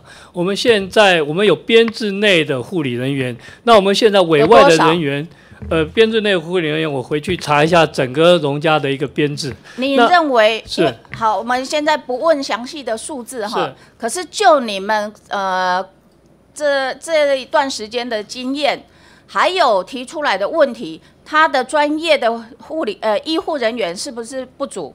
人力是不是不足？是我们现在大概有两百多个呃护理人员需要委外，然后我们委外因为有人事行政局的一个限制，我们不能自用自然人来聘用，我们必须用劳务委外，我们必须委委呃委外一个专业的公司提供护理的人力。那提供来的这些护理人力必须要有呃国家的考试的及格资格，不好意思。现在其实它是管理上一个很大的问题，因为你现在自身编制内的那个跟整体的政策是另外一回事。你今天要照顾农民，只要你的专业人力不足，其实它就造成很大的影响，因为这个跟其他的照顾不一样。所以你把两百多位全部都是用委外经营的方式，他们是用呃等于是外面的派遣工啦。它很它发生很严重的问题是，目前退辅会所有的呃像这些缺缺的这些人力，他用派遣工的方方式哈，一方面来应征的派遣人员，他们的待遇是被层层剥削的，因为他们透过很多的管道。另外，因为其实甚至有一些不孝的厂商，他们长期积欠委外人力薪资的这样的问题，所以有很多的情况是很多的这些派遣人力。其实很多都做一两天就没有待了，对不对？有没有这样的情况？呃呃你们有没有掌握这样的情况？有呃，报告委员，那他们进来的时候，其实我们的委外的护理人人员，我们给他的薪资有依据地区的不同，大概到四万一到四万四之他们可以间。拿到的是多少？他们因为呃派，因为这是叫劳务委外，那他们劳务委外的一个公司，它必须要有一个成本，那相对的他们的劳健保跟他们的一个经营的利润，他们都要扣除。那实际呃每一家公司他们所实际拿到的呃一个薪资，我也要回去再查以后查了以后再向委员报告。所以其实明明知道有这样的事情已经发生，所以变成专门在照顾农民的这些人力严重不足的情况之下，而且他的人力一直在恶性循环。他没有办法好好的照顾，离职率又高，那这些问题我们都没有去去呃做一个改善，所以在这里说要照顾农民，其实我觉得真的是一个很大很大的质疑。这个部分我希望在很快的时间之内给我们一个方向，怎么样做检讨。你今天如果派遣人力是不可以用的，你就应该用专业的人力，因为他照顾的不是不是一般的一般的。就是他，他大概有些在身体状况上面都有一些疾病，或者需要特别的照顾。这个部分我们希望很快的时间可以有一个处理的方式，是有多久？呃，谢谢委员。那我们这个其实不是派遣人力，我们这就是劳务委外，跟派遣人力其实有有呃相当我们不要在这里用去差去去争争议的这个名称了哈。是。他的样子大概就是这样了，因为你来，他第一他没有办法待。而且他被层层的剥削，是不是也有我们委外的这个公司不孝，甚至不等于是不孝的厂商？他根本积欠这些工资，也没有给人家，谁要来好好的照顾这些农民？是，这些你这些厂商如果不能用，你还继续用，你等于也是偏袒他们。你把其他的一些来工作的，即使他有专业啦，他也没有办法好好的去工作，或者是要去做维护他们的权益，这个也是很大的问题。所以反过来讲。今天我们这个基金会，我们很重要的一个目的，其实也是要照顾农民。可是我看我们花的那个经费，有很大的一部分，而且造成我们的基金呃年年然后累积短促的现象。它很大的部分都是在发放一些奖学金啊、就学补助啦，还有融券进修补助等等，是不是它最大的支出都是在这里？呃，没有错。呃，我请秘书长跟你报告实况。没关系，有是不是大部分的花费是在这里？我们整个大概七千万，有五千多万，我五六千万几乎全部都是刚刚委员所讲。那像这个呃奖助学金的补助啦，或者就学补助等等，这些跟我们原来退辅会在发放奖助学金，我们奖助学金的来源只有基金会吗？还有哪里？大学以上的，当然。奖助学金不只有基金会，包含教育部所有单其他所的单位我我说的是我们退辅会的单位，只有我们基金会，只有我们基金会。是的，是的。那其实我们把大部分的经费，退辅会其他都没有相关的经费来做这一块吗？没有，自我了解是没有，都没有吗？没有，确定吗？哈，是的，主委没有其他的经费是做这样的补助，确实。所以我们希望在这里再做一个检讨，因为你所有的全部用在这里。结果反而你照顾农民的部分，我们忽略掉了。刚刚我提到的那个情况，本来像那些老农民，他们可能后身后的一些积蓄，他们愿意捐出来的，或者他们这些房地产，其实他们是这些基金主要的来源，可是他们却没有受到更好的照顾。你把大部分的经费用在这些奖学金啊、就学补助啊这些经费，你通通把它用掉了。荣民的照顾反而没有受到一个很好的重视，所以在这里我们希望，其实你在比例上面，或者应该，因为我们其实成立最重要的是要照顾荣民哦。我觉得我们已经把它偏颇掉了。那这个部分，我想其实要很快的时间之内可以提出检讨跟改善，或者我们应该要有什么样的经费做这样的益助，是不是不是可以做得更好？那另外，我想再请教一下。基金会从我们一百零四年的决算来看呢，哈，就是我们累积短处大概八千多万了。是。那我们过去是不是有曾经北荣之前呃新闻上面啊有提到中粒子中心，有说有红国宏泰集团要捐赠，还有润泰集团他们要捐赠一些经费来让台北荣总新建重粒子治疗中心。有没有这样的事情？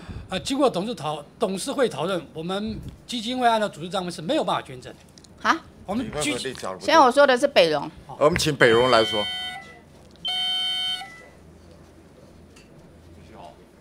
喂，好，哎。北呃，刚刚提到的那个问题。助理中心是。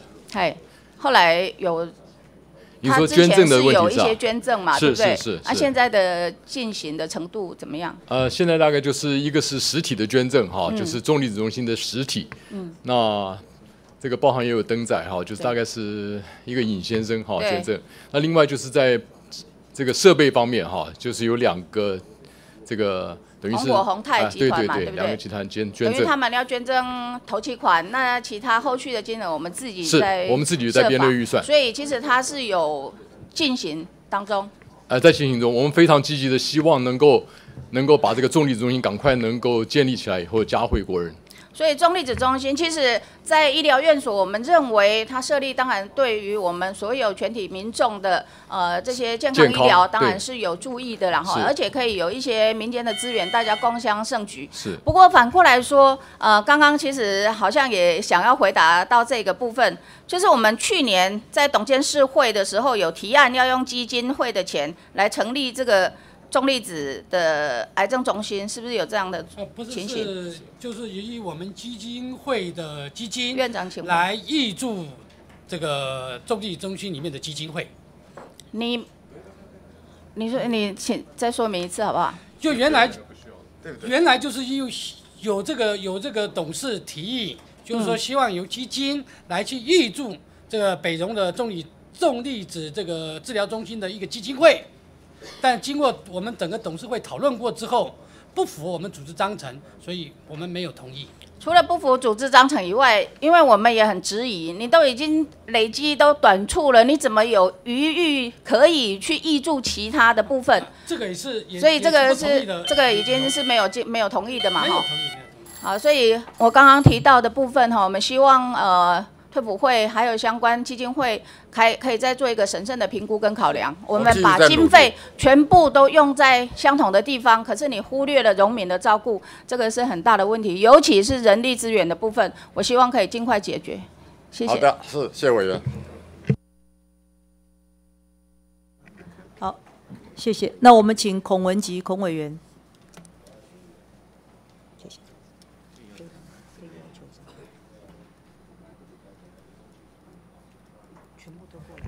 呃，主席可不可以请那个李主委？主委劳烦一下。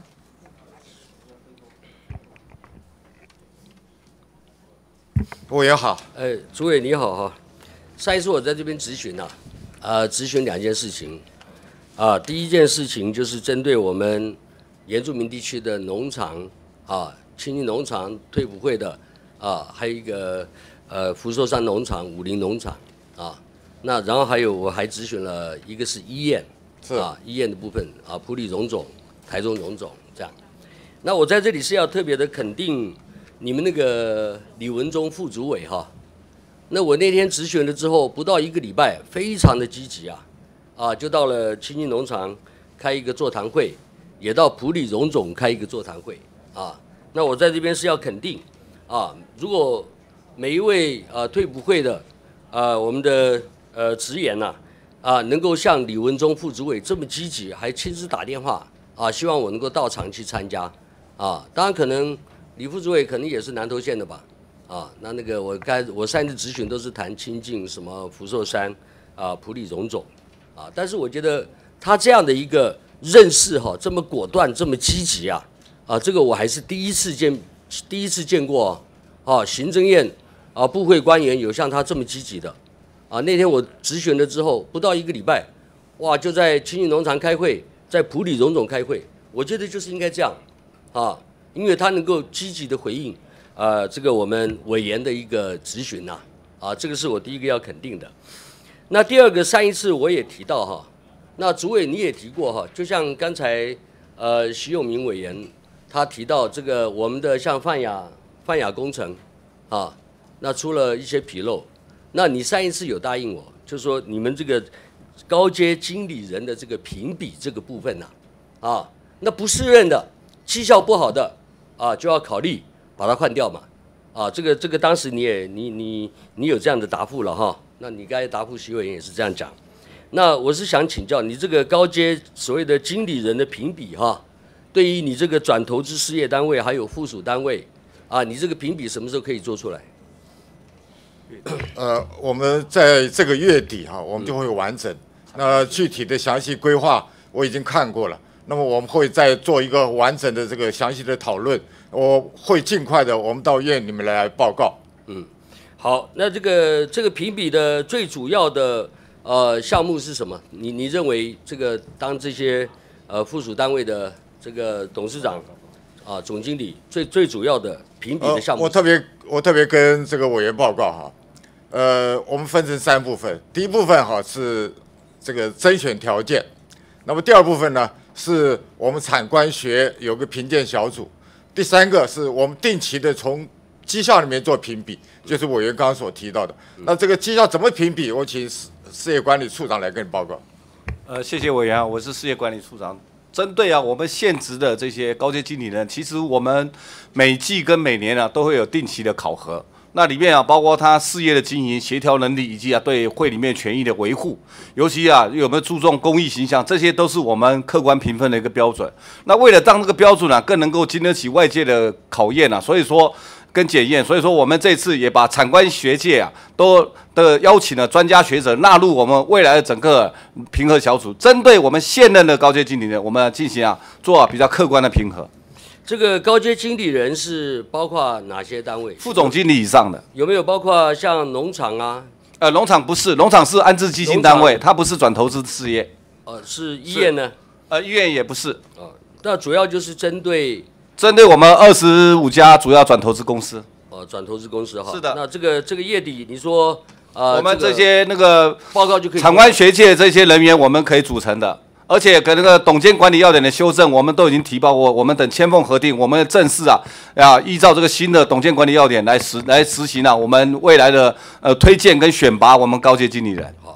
主委，主委，你这个您您您这样的做法哈，本席也是非常肯定了，啊，要有决心，啊，要推动哈，要推动，不要呃不要给人家以为说啊，这个就是我们呃安排我们这个退退退出役官兵的一个安排的去处嘛，啊，这个这个这个，我想这个都是我们委员呐啊咨询的一个重点是在这里啊。那另外呢哈。另外，呃，有关这个你们这个所所属农场哈，原住民土地的部分呐、啊，原住民的土地部分，像福寿山农场、清近农场啊都有哈。那我们那边原住民的族人都有跟我反映，啊，有跟我反映。那我们现在在谈转型正义，啊，昨天立法院司法法制委员会，啊，就在审这个转型正义。那这个转型正义呢，我们原住民委员都说啊，这个。啊，为什么原住民的转型正义这一次没有排进来？啊，那当然昨天，但是还只是审这个民进党版的哈转型正义的呃促转条例。但是呢，总统府这边哈，我是听说了，八月一日以后，蔡英文总统跟原住民道歉之后啊，啊，在总统府会设一个原住民的转型正义的调查委员会。那我要跟主委特别说明的是。这个原住民的转型争议调查委员会，第一个第一个可能就是要处理土地的问题了。那诸位，我们原住民的土地在你们退辅会啊，这个里面你有没有调查清楚？有没有有没有听到这个土地被占用，或者是被退辅会啊这这个占用的有没有？呃，报告委员，我跟您报告一下哈。其实从民国七十八年到九十六年之间呐、我们呐、那个透过真划编呐，原住民的土地啊，总共有一千四百零三公顷。那九十六年到现在啊，我们也拨出了十笔土地，大概面积是一点六六公顷。那这一部分呢、我们会配合将来的法令修订，尤其是原住民土改土改法通过之后啊，我们会全力来配合，我们会与原住民啊委员会来合作，一起啊来努力啊配合这个事情。是，诸位啊，这个这个就是我希望你了解哈。我们现在都在谈那个什么转型争议，那今天我们原住民的转型争议就是从土地开始。那我们的土地有很多都是被退辅会啊占去的，啊，就像那个呃福寿山农场，啊，福寿山农场为了安置农民，啊，我们老蒋呃就说这块山头就是啊，其实大概历史都是这样来的，啊，就一个一个山头都不见了。但是呢，有没有调查原住民的传统礼仪？没有。那这个这个是退辅会你必须要去面对的。将来这个转型正义的原住民的转型正义的调查委员会啊，如果成立的话，你们第一个要碰到是退辅会会有这个问题啊。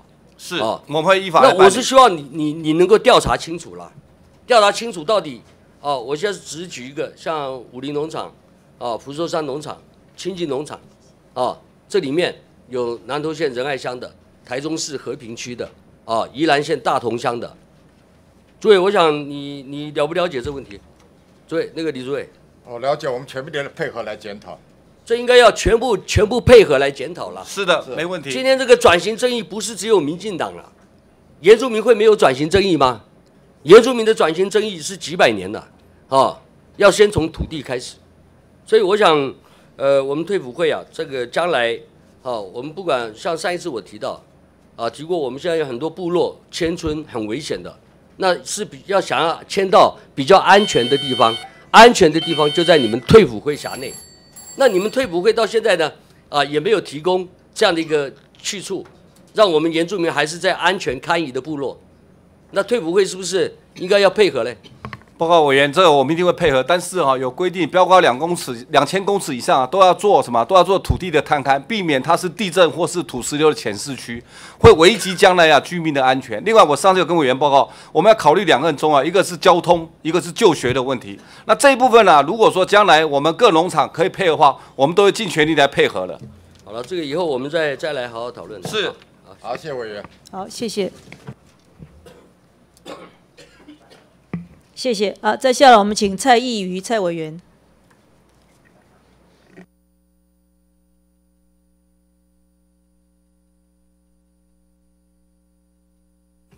哎，请主委。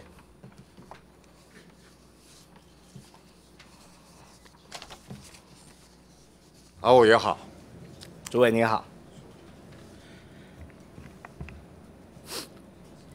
哎，主委哈，那今天来哈，想要请教主委，因为我们知道现在现行的陆海空军军事官服役条例第三十六条的规定，哦，规定说是说，呃，军人哈，他在他在死亡后，他的遗眷，哦，遗眷是可以领一次的，一次的这个叫做慰抚金。那如果他不领一次的慰抚金的话，他可以每个月领他退休俸的半俸，好，领这样的一个半俸。那我想要请教主委，就是说，目前这样领半俸，每年差不多他的预算，目前哦，以去年来说，它的规模是多大？我请业管处给你报告。好，呃，跟 委员报告一下。是。那么现在目前为止啊，嗯，呃，我们领俸人数呢大概是二十万人。二十万人。二十万人里面呢，有十二万呢多呢是属于领全俸的，那么有大概是八万左右是属于领半俸的。嗯。那么每一期的金额呢大概是三百亿。每一期大大大概是这样300亿的状况。那半俸的是三百亿吗？还是说全俸的数俸加上半俸是三百亿？加上半俸是三百亿。那半俸的部分是多少？这部分可能我要再再再去查一查，好，大概查一下再给我办公室。呃那我想要再了解这个领半俸的中间，因为它有分为三个部分，第一个就是所谓的父母，第二个是配偶，那第三个是指他的未成年子女或是成年子女，但是无法哦身心障碍，对身心障碍的部分。那这三个部分又分别是多少金额？是不是这部分可以给我办公室让我了解一下？是哦，所以我现在要去强调的就是说，诶、这个部分还是请主委哈，因为我要请主委去思考一个问题，就是说，现在很多我相信很多军人，他们虽然说他从军，但是他的配偶、他的家庭实际上还是有一份工作，他的配偶也是有工作。如果他是双薪家庭的话，他有必要自己有一份薪水，然后我还要领我另外我呃我这个军事官另外那一份他退休俸的半俸，甚至我可能我有所谓他自己的劳退的一个年金，他有他自己的年金，他要领这一份退这样的一份半俸，不合理吧？啊，我理解委员的这样的一个说法。对当然我们全班都去了解领半俸、领全俸这些实况，我们全班来检讨。我希望要全这个要全盘，这个一定要全盘检讨。好，因为如果你刚刚说的三百亿，当然说全俸的部分，这个我我是没有我是没有问题的哦。如果半俸，如果半俸的部分它就占一百亿了，哇，这很可怕哎、我们每年常照我们所需要的一个预算规模，目前规划起来七百亿，这部分就将近就将近七分之一了呢。哦，那如果说未来长照要用要用课税的部分，我觉得年金改革从这部分来改革，这个就是对对我们长照制度最好的一个贡献呐，是不是这部分思考一下？但是我我的意思并不是说，他们这一些退出一支将兵他们的这个慰抚金，好要把它砍掉，不是？我希望他们一次领，好一次领就好了，没有必要每个月再给他们。那第二个我就是要讲，我要我要去讲的就是黑寡妇条款。黑寡妇条法那个黑寡妇的状况，这一些农民呐，农民哈，他会有很多入很多中国籍的，还是不不不管是已经取得台湾身份证了，那他就跟这样一个农民去结婚，那这个农民退这个农民死亡故后，搞不好他的这个妻子才二十几岁，然后还可以领半俸，领一辈子啊。而且很多这一些中国籍的配偶，在他因安贵用料的登去中国啊，回中国了，我们每个月还是给他们钱。那这个问题在两千零二零一四年的时候，就是前一届，我们邱志伟立委在质询的时候，当时候的主委已经说，董祥龙哈，我们前主委哈，已经说哈，我们要来修法。修法是说，哈，你婚姻状况至少要满十五年，而且你这个妻子哈，必须要年满六十岁，才有领这个半俸。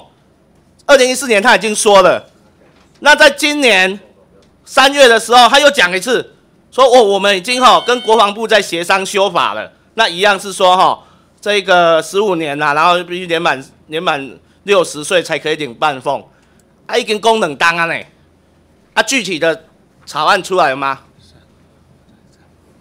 呃，报告委员跟您报告，这个法案呢，从一百零二年的四月份送那个版本送到立法院来，对，啊，就一直到现在为止没有任何改变，嗯，就是婚姻存续关系十五年，满六十岁啊才可以领取，嗯，这个到目前为止没有任何改变，对，所以是，所以就是说这个法案案呢送进来，然后都没有都没有看出有怎样的努力在推动。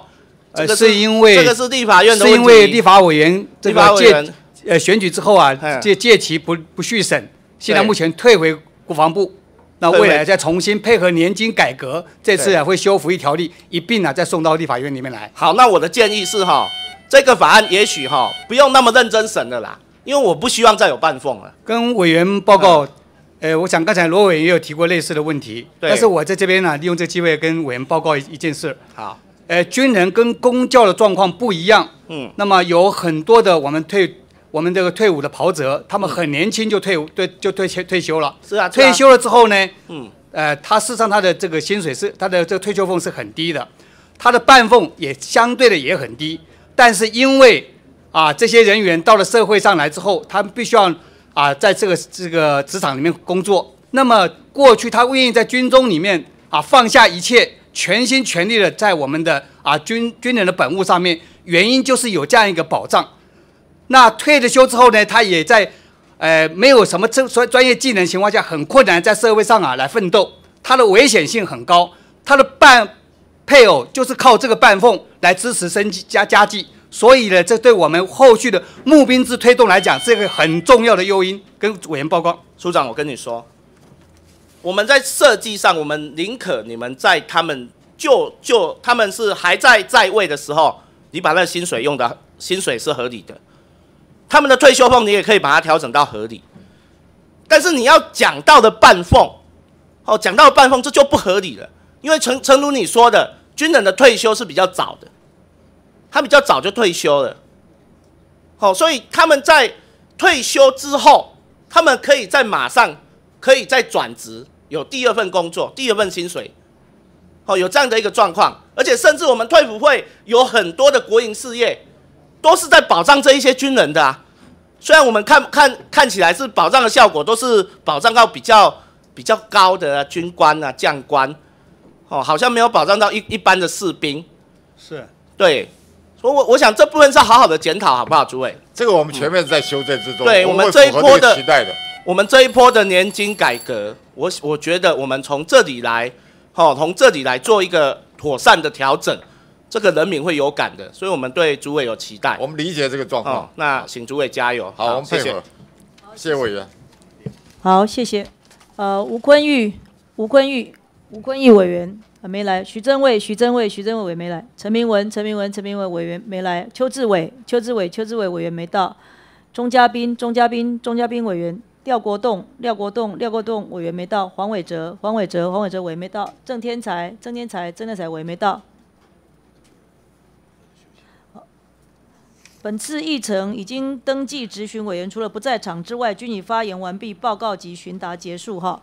那因为我们等一下要处理的临时提案有三案哈，那预算的案有十八案哈，所以就呃先休息一下。那那个主委可能你再确定一下哈，刚刚很多委员在乎的这个泛亚工程董事长哈。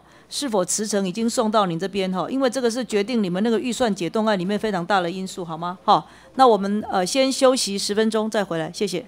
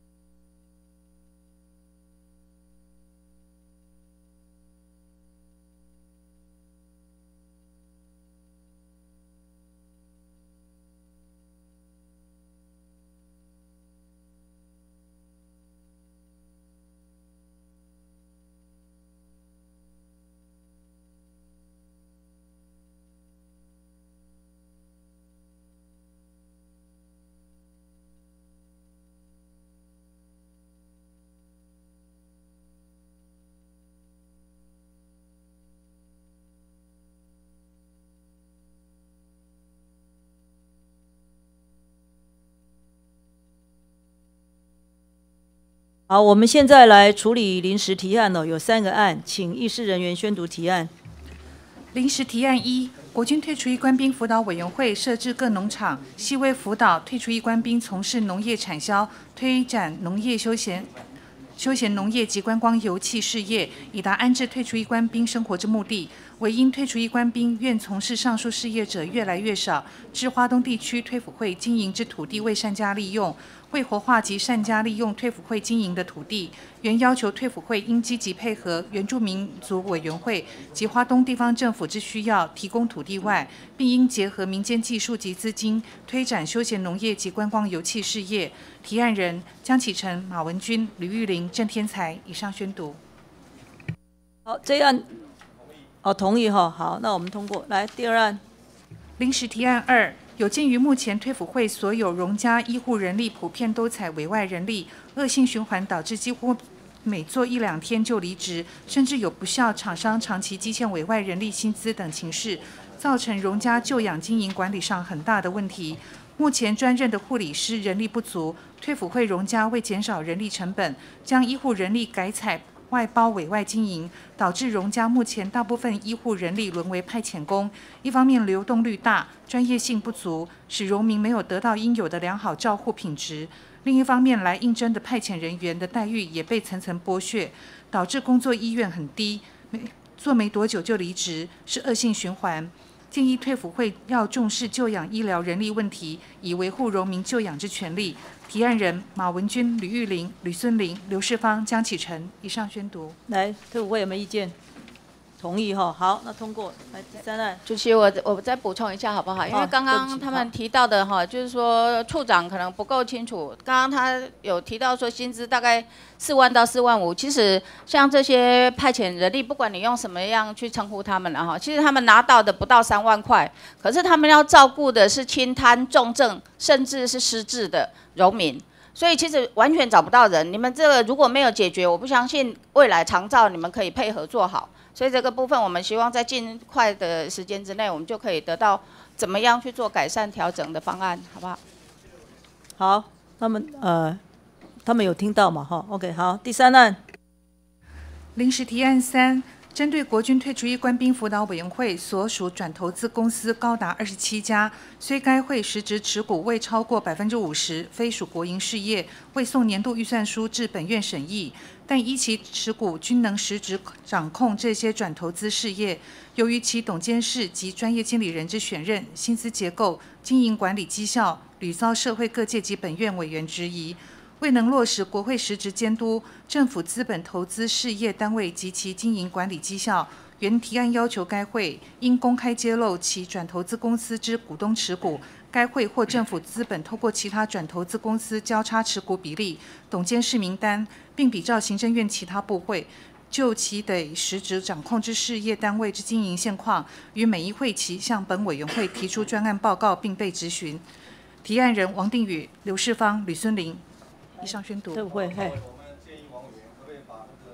把专案报告改成书面报告，并对。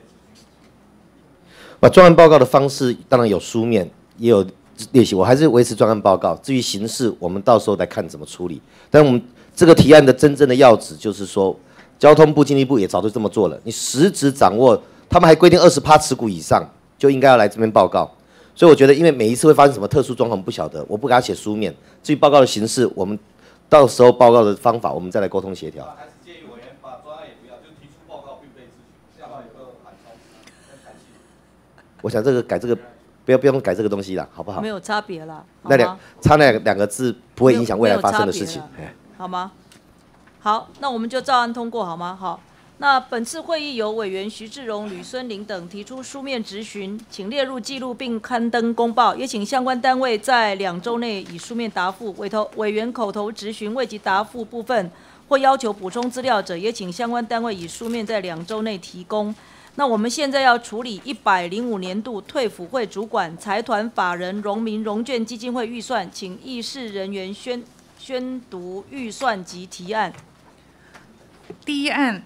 荣民融券基金会总支出预算数七千五百五十二万七千元，冻结数五百万元，四退辅会向外交及国防委员会提出检讨暨改善方针书面报告后，使得动之。提案人陈廷飞、刘世芳、李孙林、罗志正。以上宣读。这这个案子哦比较大哈，那因为后面还有一些相关的，所以我们等到最后再来处理，好吗？好好，第二案。第二案，针对荣民荣券基金会一百零五年度奖金科目编列六十五万一千元，查年终奖金应比照公务人员标准考核发放。经查，该基金会除一点五个月年终奖金外，亦编列工作奖励金二十万元及三节未免金六万五千元，有欠妥适。原提案减列二十六万五千元。提案人王定宇、吕孙林、蔡世应、李长佐。以上宣读。OK。啊，提案人增加罗志正委员。啊，那个，来，退伍会同意简列哈。好，谢谢。好，第三，第三案，第三案，荣民荣券基金会退休抚恤科目编列三十三万五千元。经查，该基金会近年营运阶层短处，亟待积极研谋开源节流。节流有关提拨员工退休准备，依规定提拨二十万元即可。原提案简列十三万五千元。提案人王定宇、吕孙林、蔡世应、林长佐。以上宣读。来，有没有意见？好，谢谢。那那个罗志正，你要加。好，他那个罗志正，我们再加上去。好，好，下一案。第四案，管理费用修缮维护费预算数二十二万元，冻结数二十二万元。原请退辅会于三个月内改善荣民融券基金会之网页，将该基金会之业务、捐款。补助申请等，以更完整、详细且明确的方式呈现，使其符合使用者友善原则，并向立法院外交及国防委员会提出书面报告，使得解冻。以上宣读。啊，提案人罗志正、陈廷飞、蔡世应、李孙林。以上宣读。你拿个麦克风好吗？你拿个麦克风，你好像有，或者你到这边来回答都没关系，这样比较好。谢谢。主席，嗯。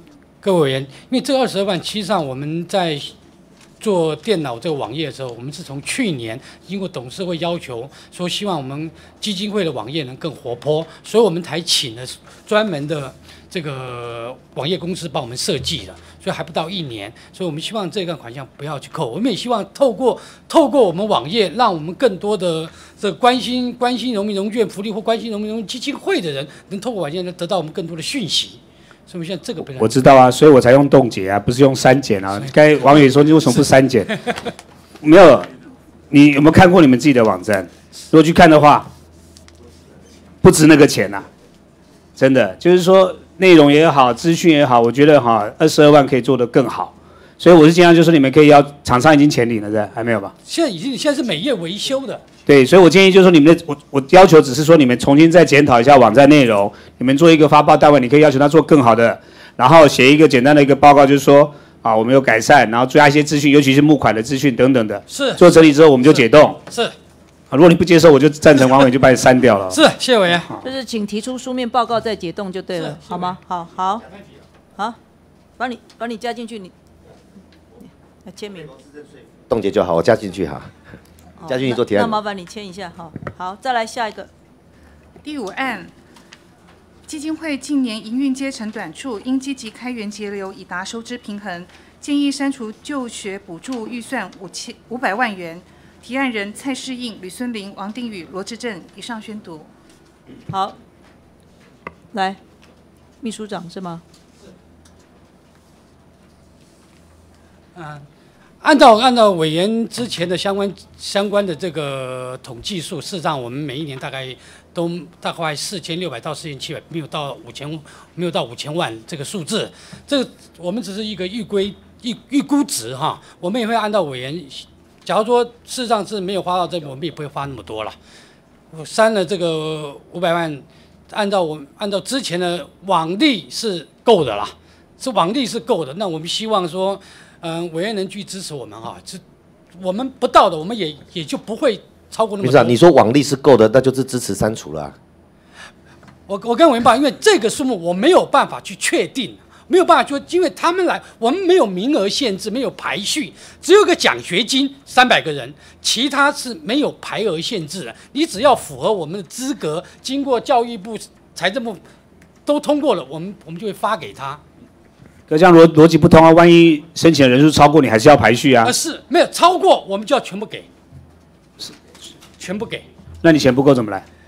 每年大概就是我们，所以我们每一年编的预算大概都是在五千万，啊、多一点，所以他从那我我请问一下，过去三年有没有不够的时候？没有那就是够啊。没有，过去三年没有，那你们就是支持删除五百万就对了。删除不够再说嘛。是不够是？对啊，你你不够，你还在追你自己。是吧？我们能不能少一点两百万，好吧？不是啊这个这里不是菜市场了哈，因为提案委员蔡世英委员他也特别请我帮他说这第一个砍一层是让你知道我们量入为出，第二个根据过往经验其实是够的。那你如果真的不够，我们再回来这边讨论，是该多少我们再说多少嘛。所以我们先把五百万把它删掉，那将来再做处理。是好，就是你要实报实销，然后以删除五百万为主，哈，好，OK，好，那就同意删除了。还下一案，第六案，第六案，荣民融券基金会其他业务支出融券进修补助科目编列三百二十万元补助款。经查，该基金会对融券提供学分费补助，以促进其就业，不仅效益不高，且与退辅会办理各项职职技训练班经经费重复编列之嫌。再者，补助条件过于宽松，原减列一百万元。提案人王定宇、吕孙林、蔡诗应、刘世芳、林长佐。以上宣读。好，来，秘书长同意吗？同意。同意哦，好，没意见。呃请再加一个呃罗志正委员哈，好，第七案，第七案，其他业务支出遗产拨还及不动产处理，预算数两百六十万元，冻结数二十六万元。查荣民融券基金会接受亡故荣民遗留不动产数量颇多，为增加收入，建请退辅会加强亡故荣民遗留不动产之管理及活化运用，避免资源开闲置，并借以增加收益。四退辅会向外交及国防委员会提出上开一亿之改善书面报告后，使得动之。提案人陈廷飞、刘世芳、吕孙林、罗志正。以上宣读。来，秘书长。是我们这个会向委员做说明之后。好，就是要提出改善的书面报告。好，好，再下一案，第八、九、十、十一案科目相同，并案处理。第八案宣导慰问预算金预算金额两百万元，删呃删除一百五十万元。提案人蔡世应、吕孙林、王定宇、罗志正。第九案提案简列一百零五万元，提案人王定宇、蔡世应、吕孙林、林长佐。第十案冻结数四分之一及五十万元。四向本院外交及国防委员会提出书面报告后，使得动之。提案人刘世芳、吕孙林、蔡世应、罗志正。第十一案冻结二十万元。四退辅会向外交及国防委员会提出书面报告后，使得动之。提案人陈廷飞、刘世芳、吕孙林、罗志正。以上宣读。好，我们一共四个案一起处理哦，看各位委员们其他的高见。好，王委员。呃，针对农民农券基金会哈这个其他业务支出宣导慰问的科目哈，那因为我们看到你过去执行的状况跟过去实质动资的费用哈，那一百零四年度呢，你们跟它比较起来增加了一百零五万，并没有参照行政院定的相关规定编列，所以我建议删减一百零五万是根据行政院自己定的预算编列的原则，把它删掉的。所以这边有一百五的，有一百零五的，啊，好像还有二十的哈。那我觉得我们有个根据，就是说，你你这里面哈，我细项我都帮你做说明，你各年度的支出状况我都帮你抓出来了。所以主委跟秘书长这边你们可以思考看看哈。我我这里一百零五万的删减我是不会退让的，因为这应该省下来。那或者你们有其他的说明，你们可以说明来说服我们。来，秘书长，哎，副主委，嘿。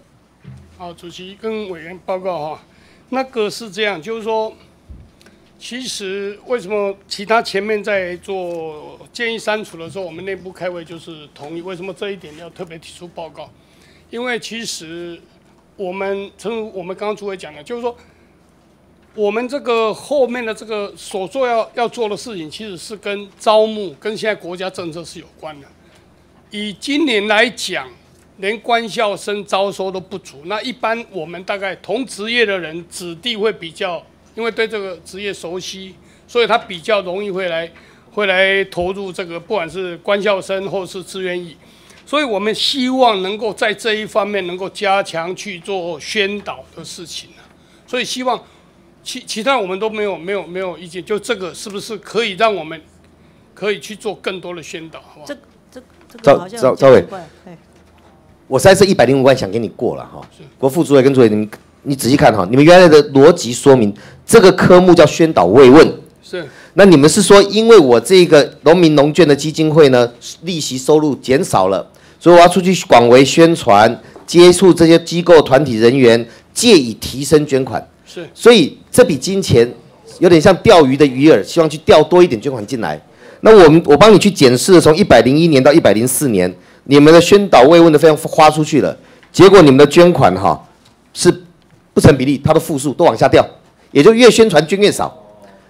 这是原始的，所以我才把你冻起，把你删除了一百零万，也就是说你浪费了嘛。你越宣传捐款越少，那我倒不如把这一百零万留下来，留在国库好好运用。可你刚才讲的说法是，这笔钱又跟募兵有关系啊。跟委员报告，其实原本的答复就是说，只是希望能够增加这个捐款而已嘛。那后来因为我们上任以后在看这些事情，我觉得应该是要把整个政策要要抓在一块。你不是只去宣导这个这个这个捐献嘛？你既然去了，要这面对这么多的农民农券，你应该把要把国家政策整个抓起来。所以我们才希望这笔钱一百万其实不多。我们才希望就是说，这个是不是可以保留？因为当时在编列预算书的时候，其实这一段是没有去做说明的。我本来不是用在募兵的了，我坦白讲，对对对对，这笔钱不是用在募兵的，我看是是看赵伟怎么处理啊。那个这样子哈，那个哦，你请说，你先说。假如说今天我的增加是没有增加收入，就如我王委员讲的，我当然应该删啊，你不应该超过。那我给您给您一个具体的报告，我们一百零三一百零三年，我们的我们的捐赠收入是一千一千两百多万。一百零四年，因为我们大幅在做这一段，所以我是两千三百多万，几乎增加了一千一百万。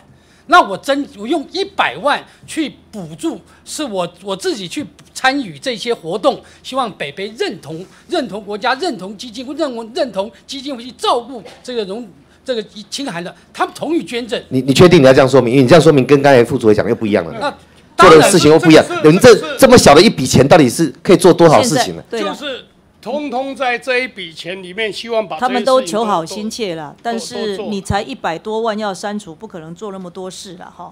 除了说你配合说现在的募兵以外，我觉得比较重要是刚刚那个我有请李祥宙呃主委有回答哈，就是那个红素珠案件之后，他要到全部的呃荣家去，针对这件事情啊做比较好的宣导慰问。那这个其实不在上次我们在处理这个呃预算里面的范围内哈。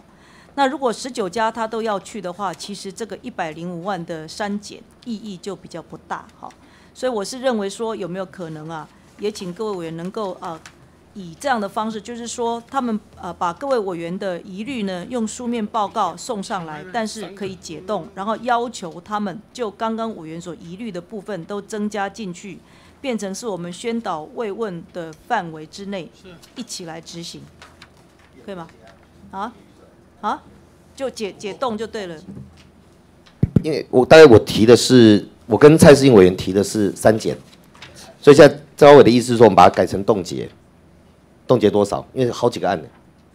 冻结哦，叫解冻的部分呢、我建议一个妥协了哈，就是原则上是冻结一，比方说一百万或一百十万，那等到这个案子执行完毕哈，就是说你们探视完之后提出一个那个报告出来，我们就解冻其他的，OK 吗？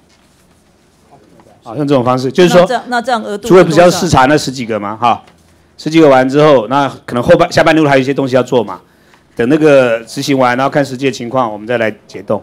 可以吗？可以，主主委同意哈，我们在文字修正，因为那个蔡适应委员刚刚刚刚问过，他他没意见，他他他们办公室来电，他没意见，哎，好好，就动一半了、一百嘛，对，后来你是动一百还是动一半？什么？你去，你去，哎，你秘秘书长，我来来来发现你应该要调去事业单位，你真的是很会做生意哦。我现在跟你讲，你你预算数两百的一一半是一百，你就拿一百的一半，又变成五十，那叫二十五趴。哎秘书长，秘书长，我们现在都有录影录音，麻烦你用麦克风，否则都是王定宇委员在发言，那你只嘴巴动一动，不晓得发生什么事。啊，我我我建议两位委员就说，因为我们现在还都在做了啊，已经已经上半年上半年都快执行完毕了啊，这个我们现在压力很大，我也希望增加我的收入。我我我跟委员报告，今年我们一定超过超过我们所定的两千五百万以上了，这不有没有问题的啦。就是我们居然多跑，那个赵伟，他保证今年募款哈，就捐赠会超过两千五百万以上。是的，是的，那那我们冻结五十万，是等他的成果出来。那那个就是哦第十案了，就是我我的好我的第十案的部分就是冻结五十万，好好吗？可以吗？那个王委员可以接受吗？那江委员可以哈。好，那我们就是以这个案这样子方式好吗？谢谢委员好，再来下一案。第十二案，荣民融券基金会预算编列说明中并未说明董监事之出席费、交通费、交通补助费及误餐费之支出额度，又董事、监事十人皆为政府各机关部门之代表，不应另领出席费及过高之交通补助费，建议冻结业务外支出、其他业务外支出，董监事呃董监事会。八十六万九千元中之十五万元。四、荣民融券基金会向本院外交及国防委员会提出书面报告后，使得动之。提案人刘世芳、吕孙林、蔡世应、罗志正。以上宣读。来，秘书长。可以通过哈，好，好，谢谢，因为本来就无几职嘛哈，好，再来十三案，啊，没有，哦，对不起，请回到呃第一案的部分，那这个这个。我现在正在推普会这边开会，我直接找他们处长来讲，好吧？请他们开个窗口，好吧？好，我马上处理。然后那个主委也答应，就是那个，那这样第一案哈，回到第一案就是荣民融券基金会总支出冻结数五百万元的部分，是不是这一案就不要？各位有没有意见？因为刚刚我们呃整理出十几案里面，有的还是继续冻结，有的减减列哈，那等等这些，所以已经五百万元的部分就不处理了，可以哈？好，OK，那就这样子，再来。第十三案主决议。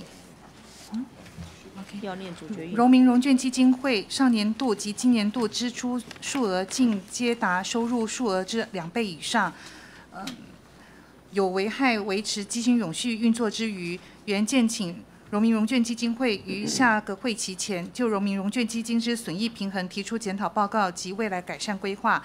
提案人刘世芳、吕孙林、蔡世应、罗志正。以上宣读。好，这个主决议，那个退伍会有没有高见？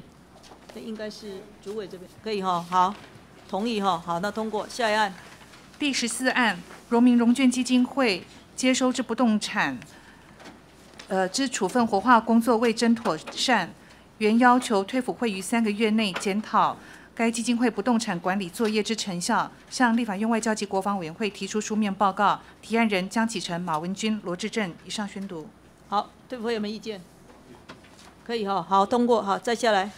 第十五案，自一百年度以来，荣民融券基金会收支皆为短处，不利基金永续经营。原要求三个月内提出检讨报告，积极研谋开源节流之道。提案人江启臣、马文君、罗志正。以上宣读。江江委员，你的检讨报告是什么意思？叫要到委员会来报告吗？还是书面哈？可以，好好好，基金会可以接受，好，通过。再来下一案。第十六案，一百零二年度中央政府总预算案时曾做成通案决议，年终奖金应比照公务人员标准考核发放。荣民融券基金会奖金发放超预公务人员标准，福利超逾公寓机关，建请退服会研谋改善方案。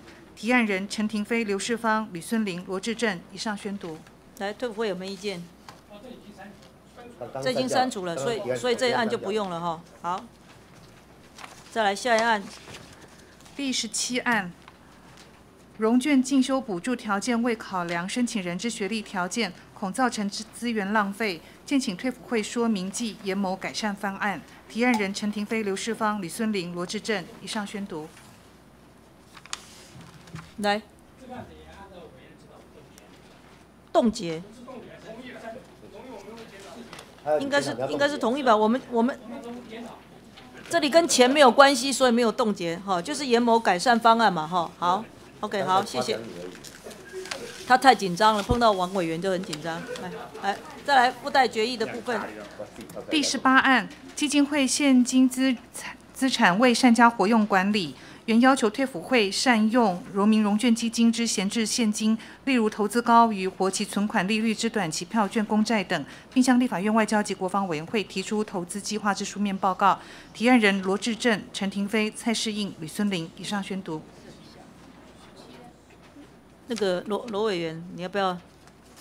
最最主要还是就是说，我们在怎么样去活化。或者说能够提高我们的投资效益，然后增加我们的税入的部分，所以它就是一个书面报告，然后应该就可以了。有没没有意见？好，没有意见哈。好，那我再来。第十九案，荣民融券基金会现有七位荣民代表董事、监察人，其退役前皆属较高阶级，比例上缺乏退役基层士官兵之声音。建请国军退出役官兵辅导委员会应暂停接受报请聘任荣民代表董监事，并进行全面检讨，并重新修正遴选荣民代表董事及监察人。提案人刘世芳、王定宇、罗志正、蔡世应。以上宣读。好像来不及了是吧？你们已经新聘了，那你们的网站上面仍然放的是第七届。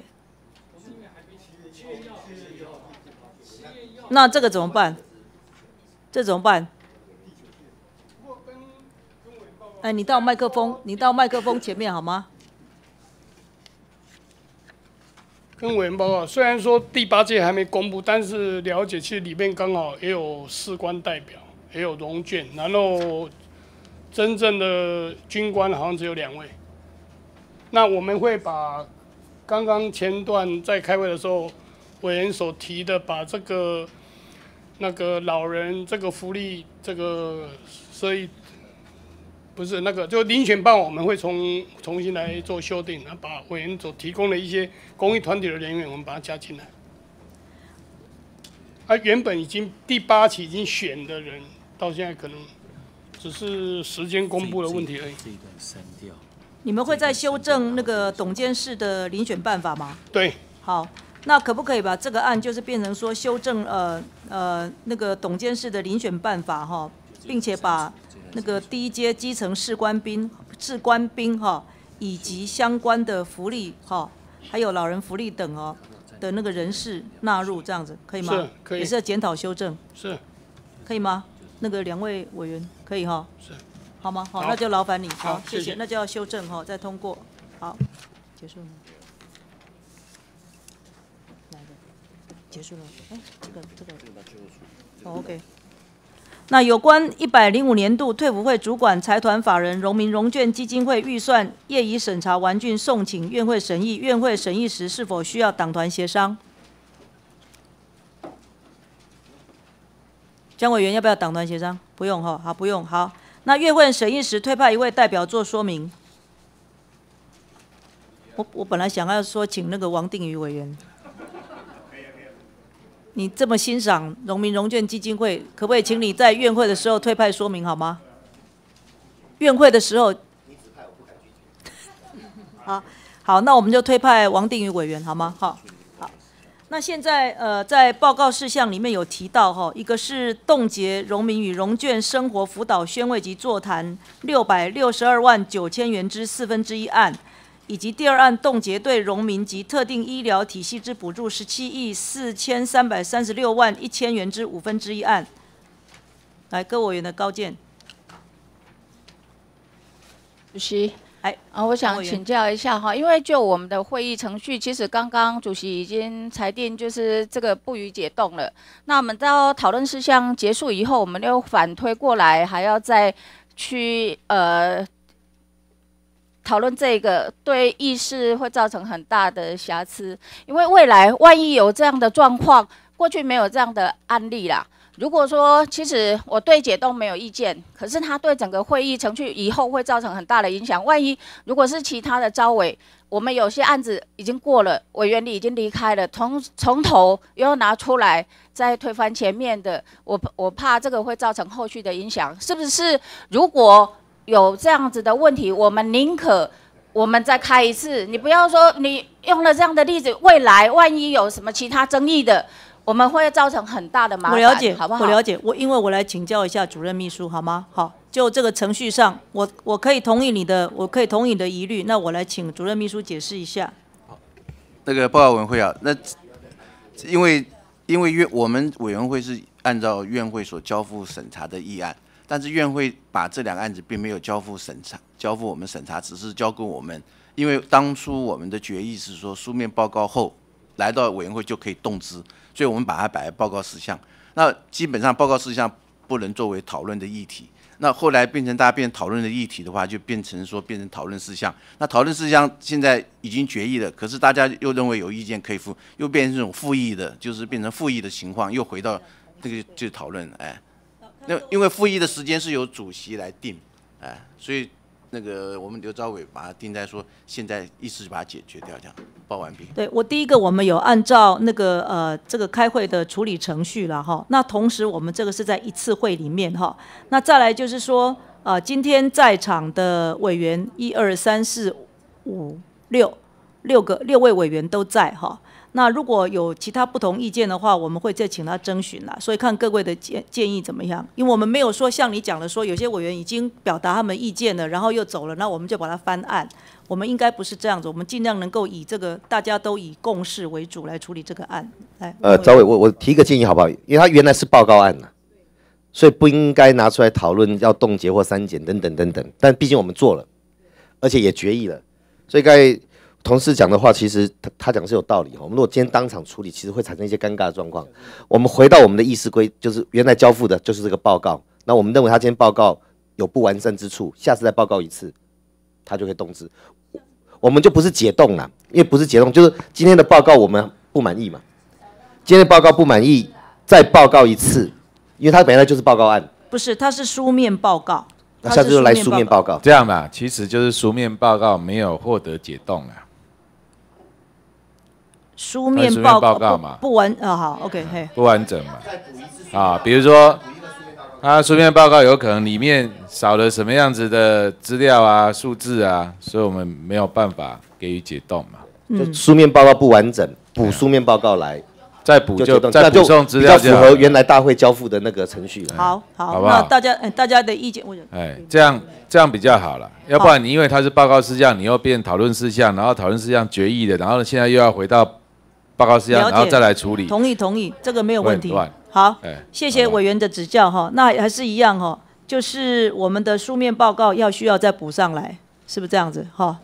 这不能够马上处理。我们对于对于其他的这个意见呢，应该还是可以纳入，没问题啦。好，就下次会再补书面报告上来。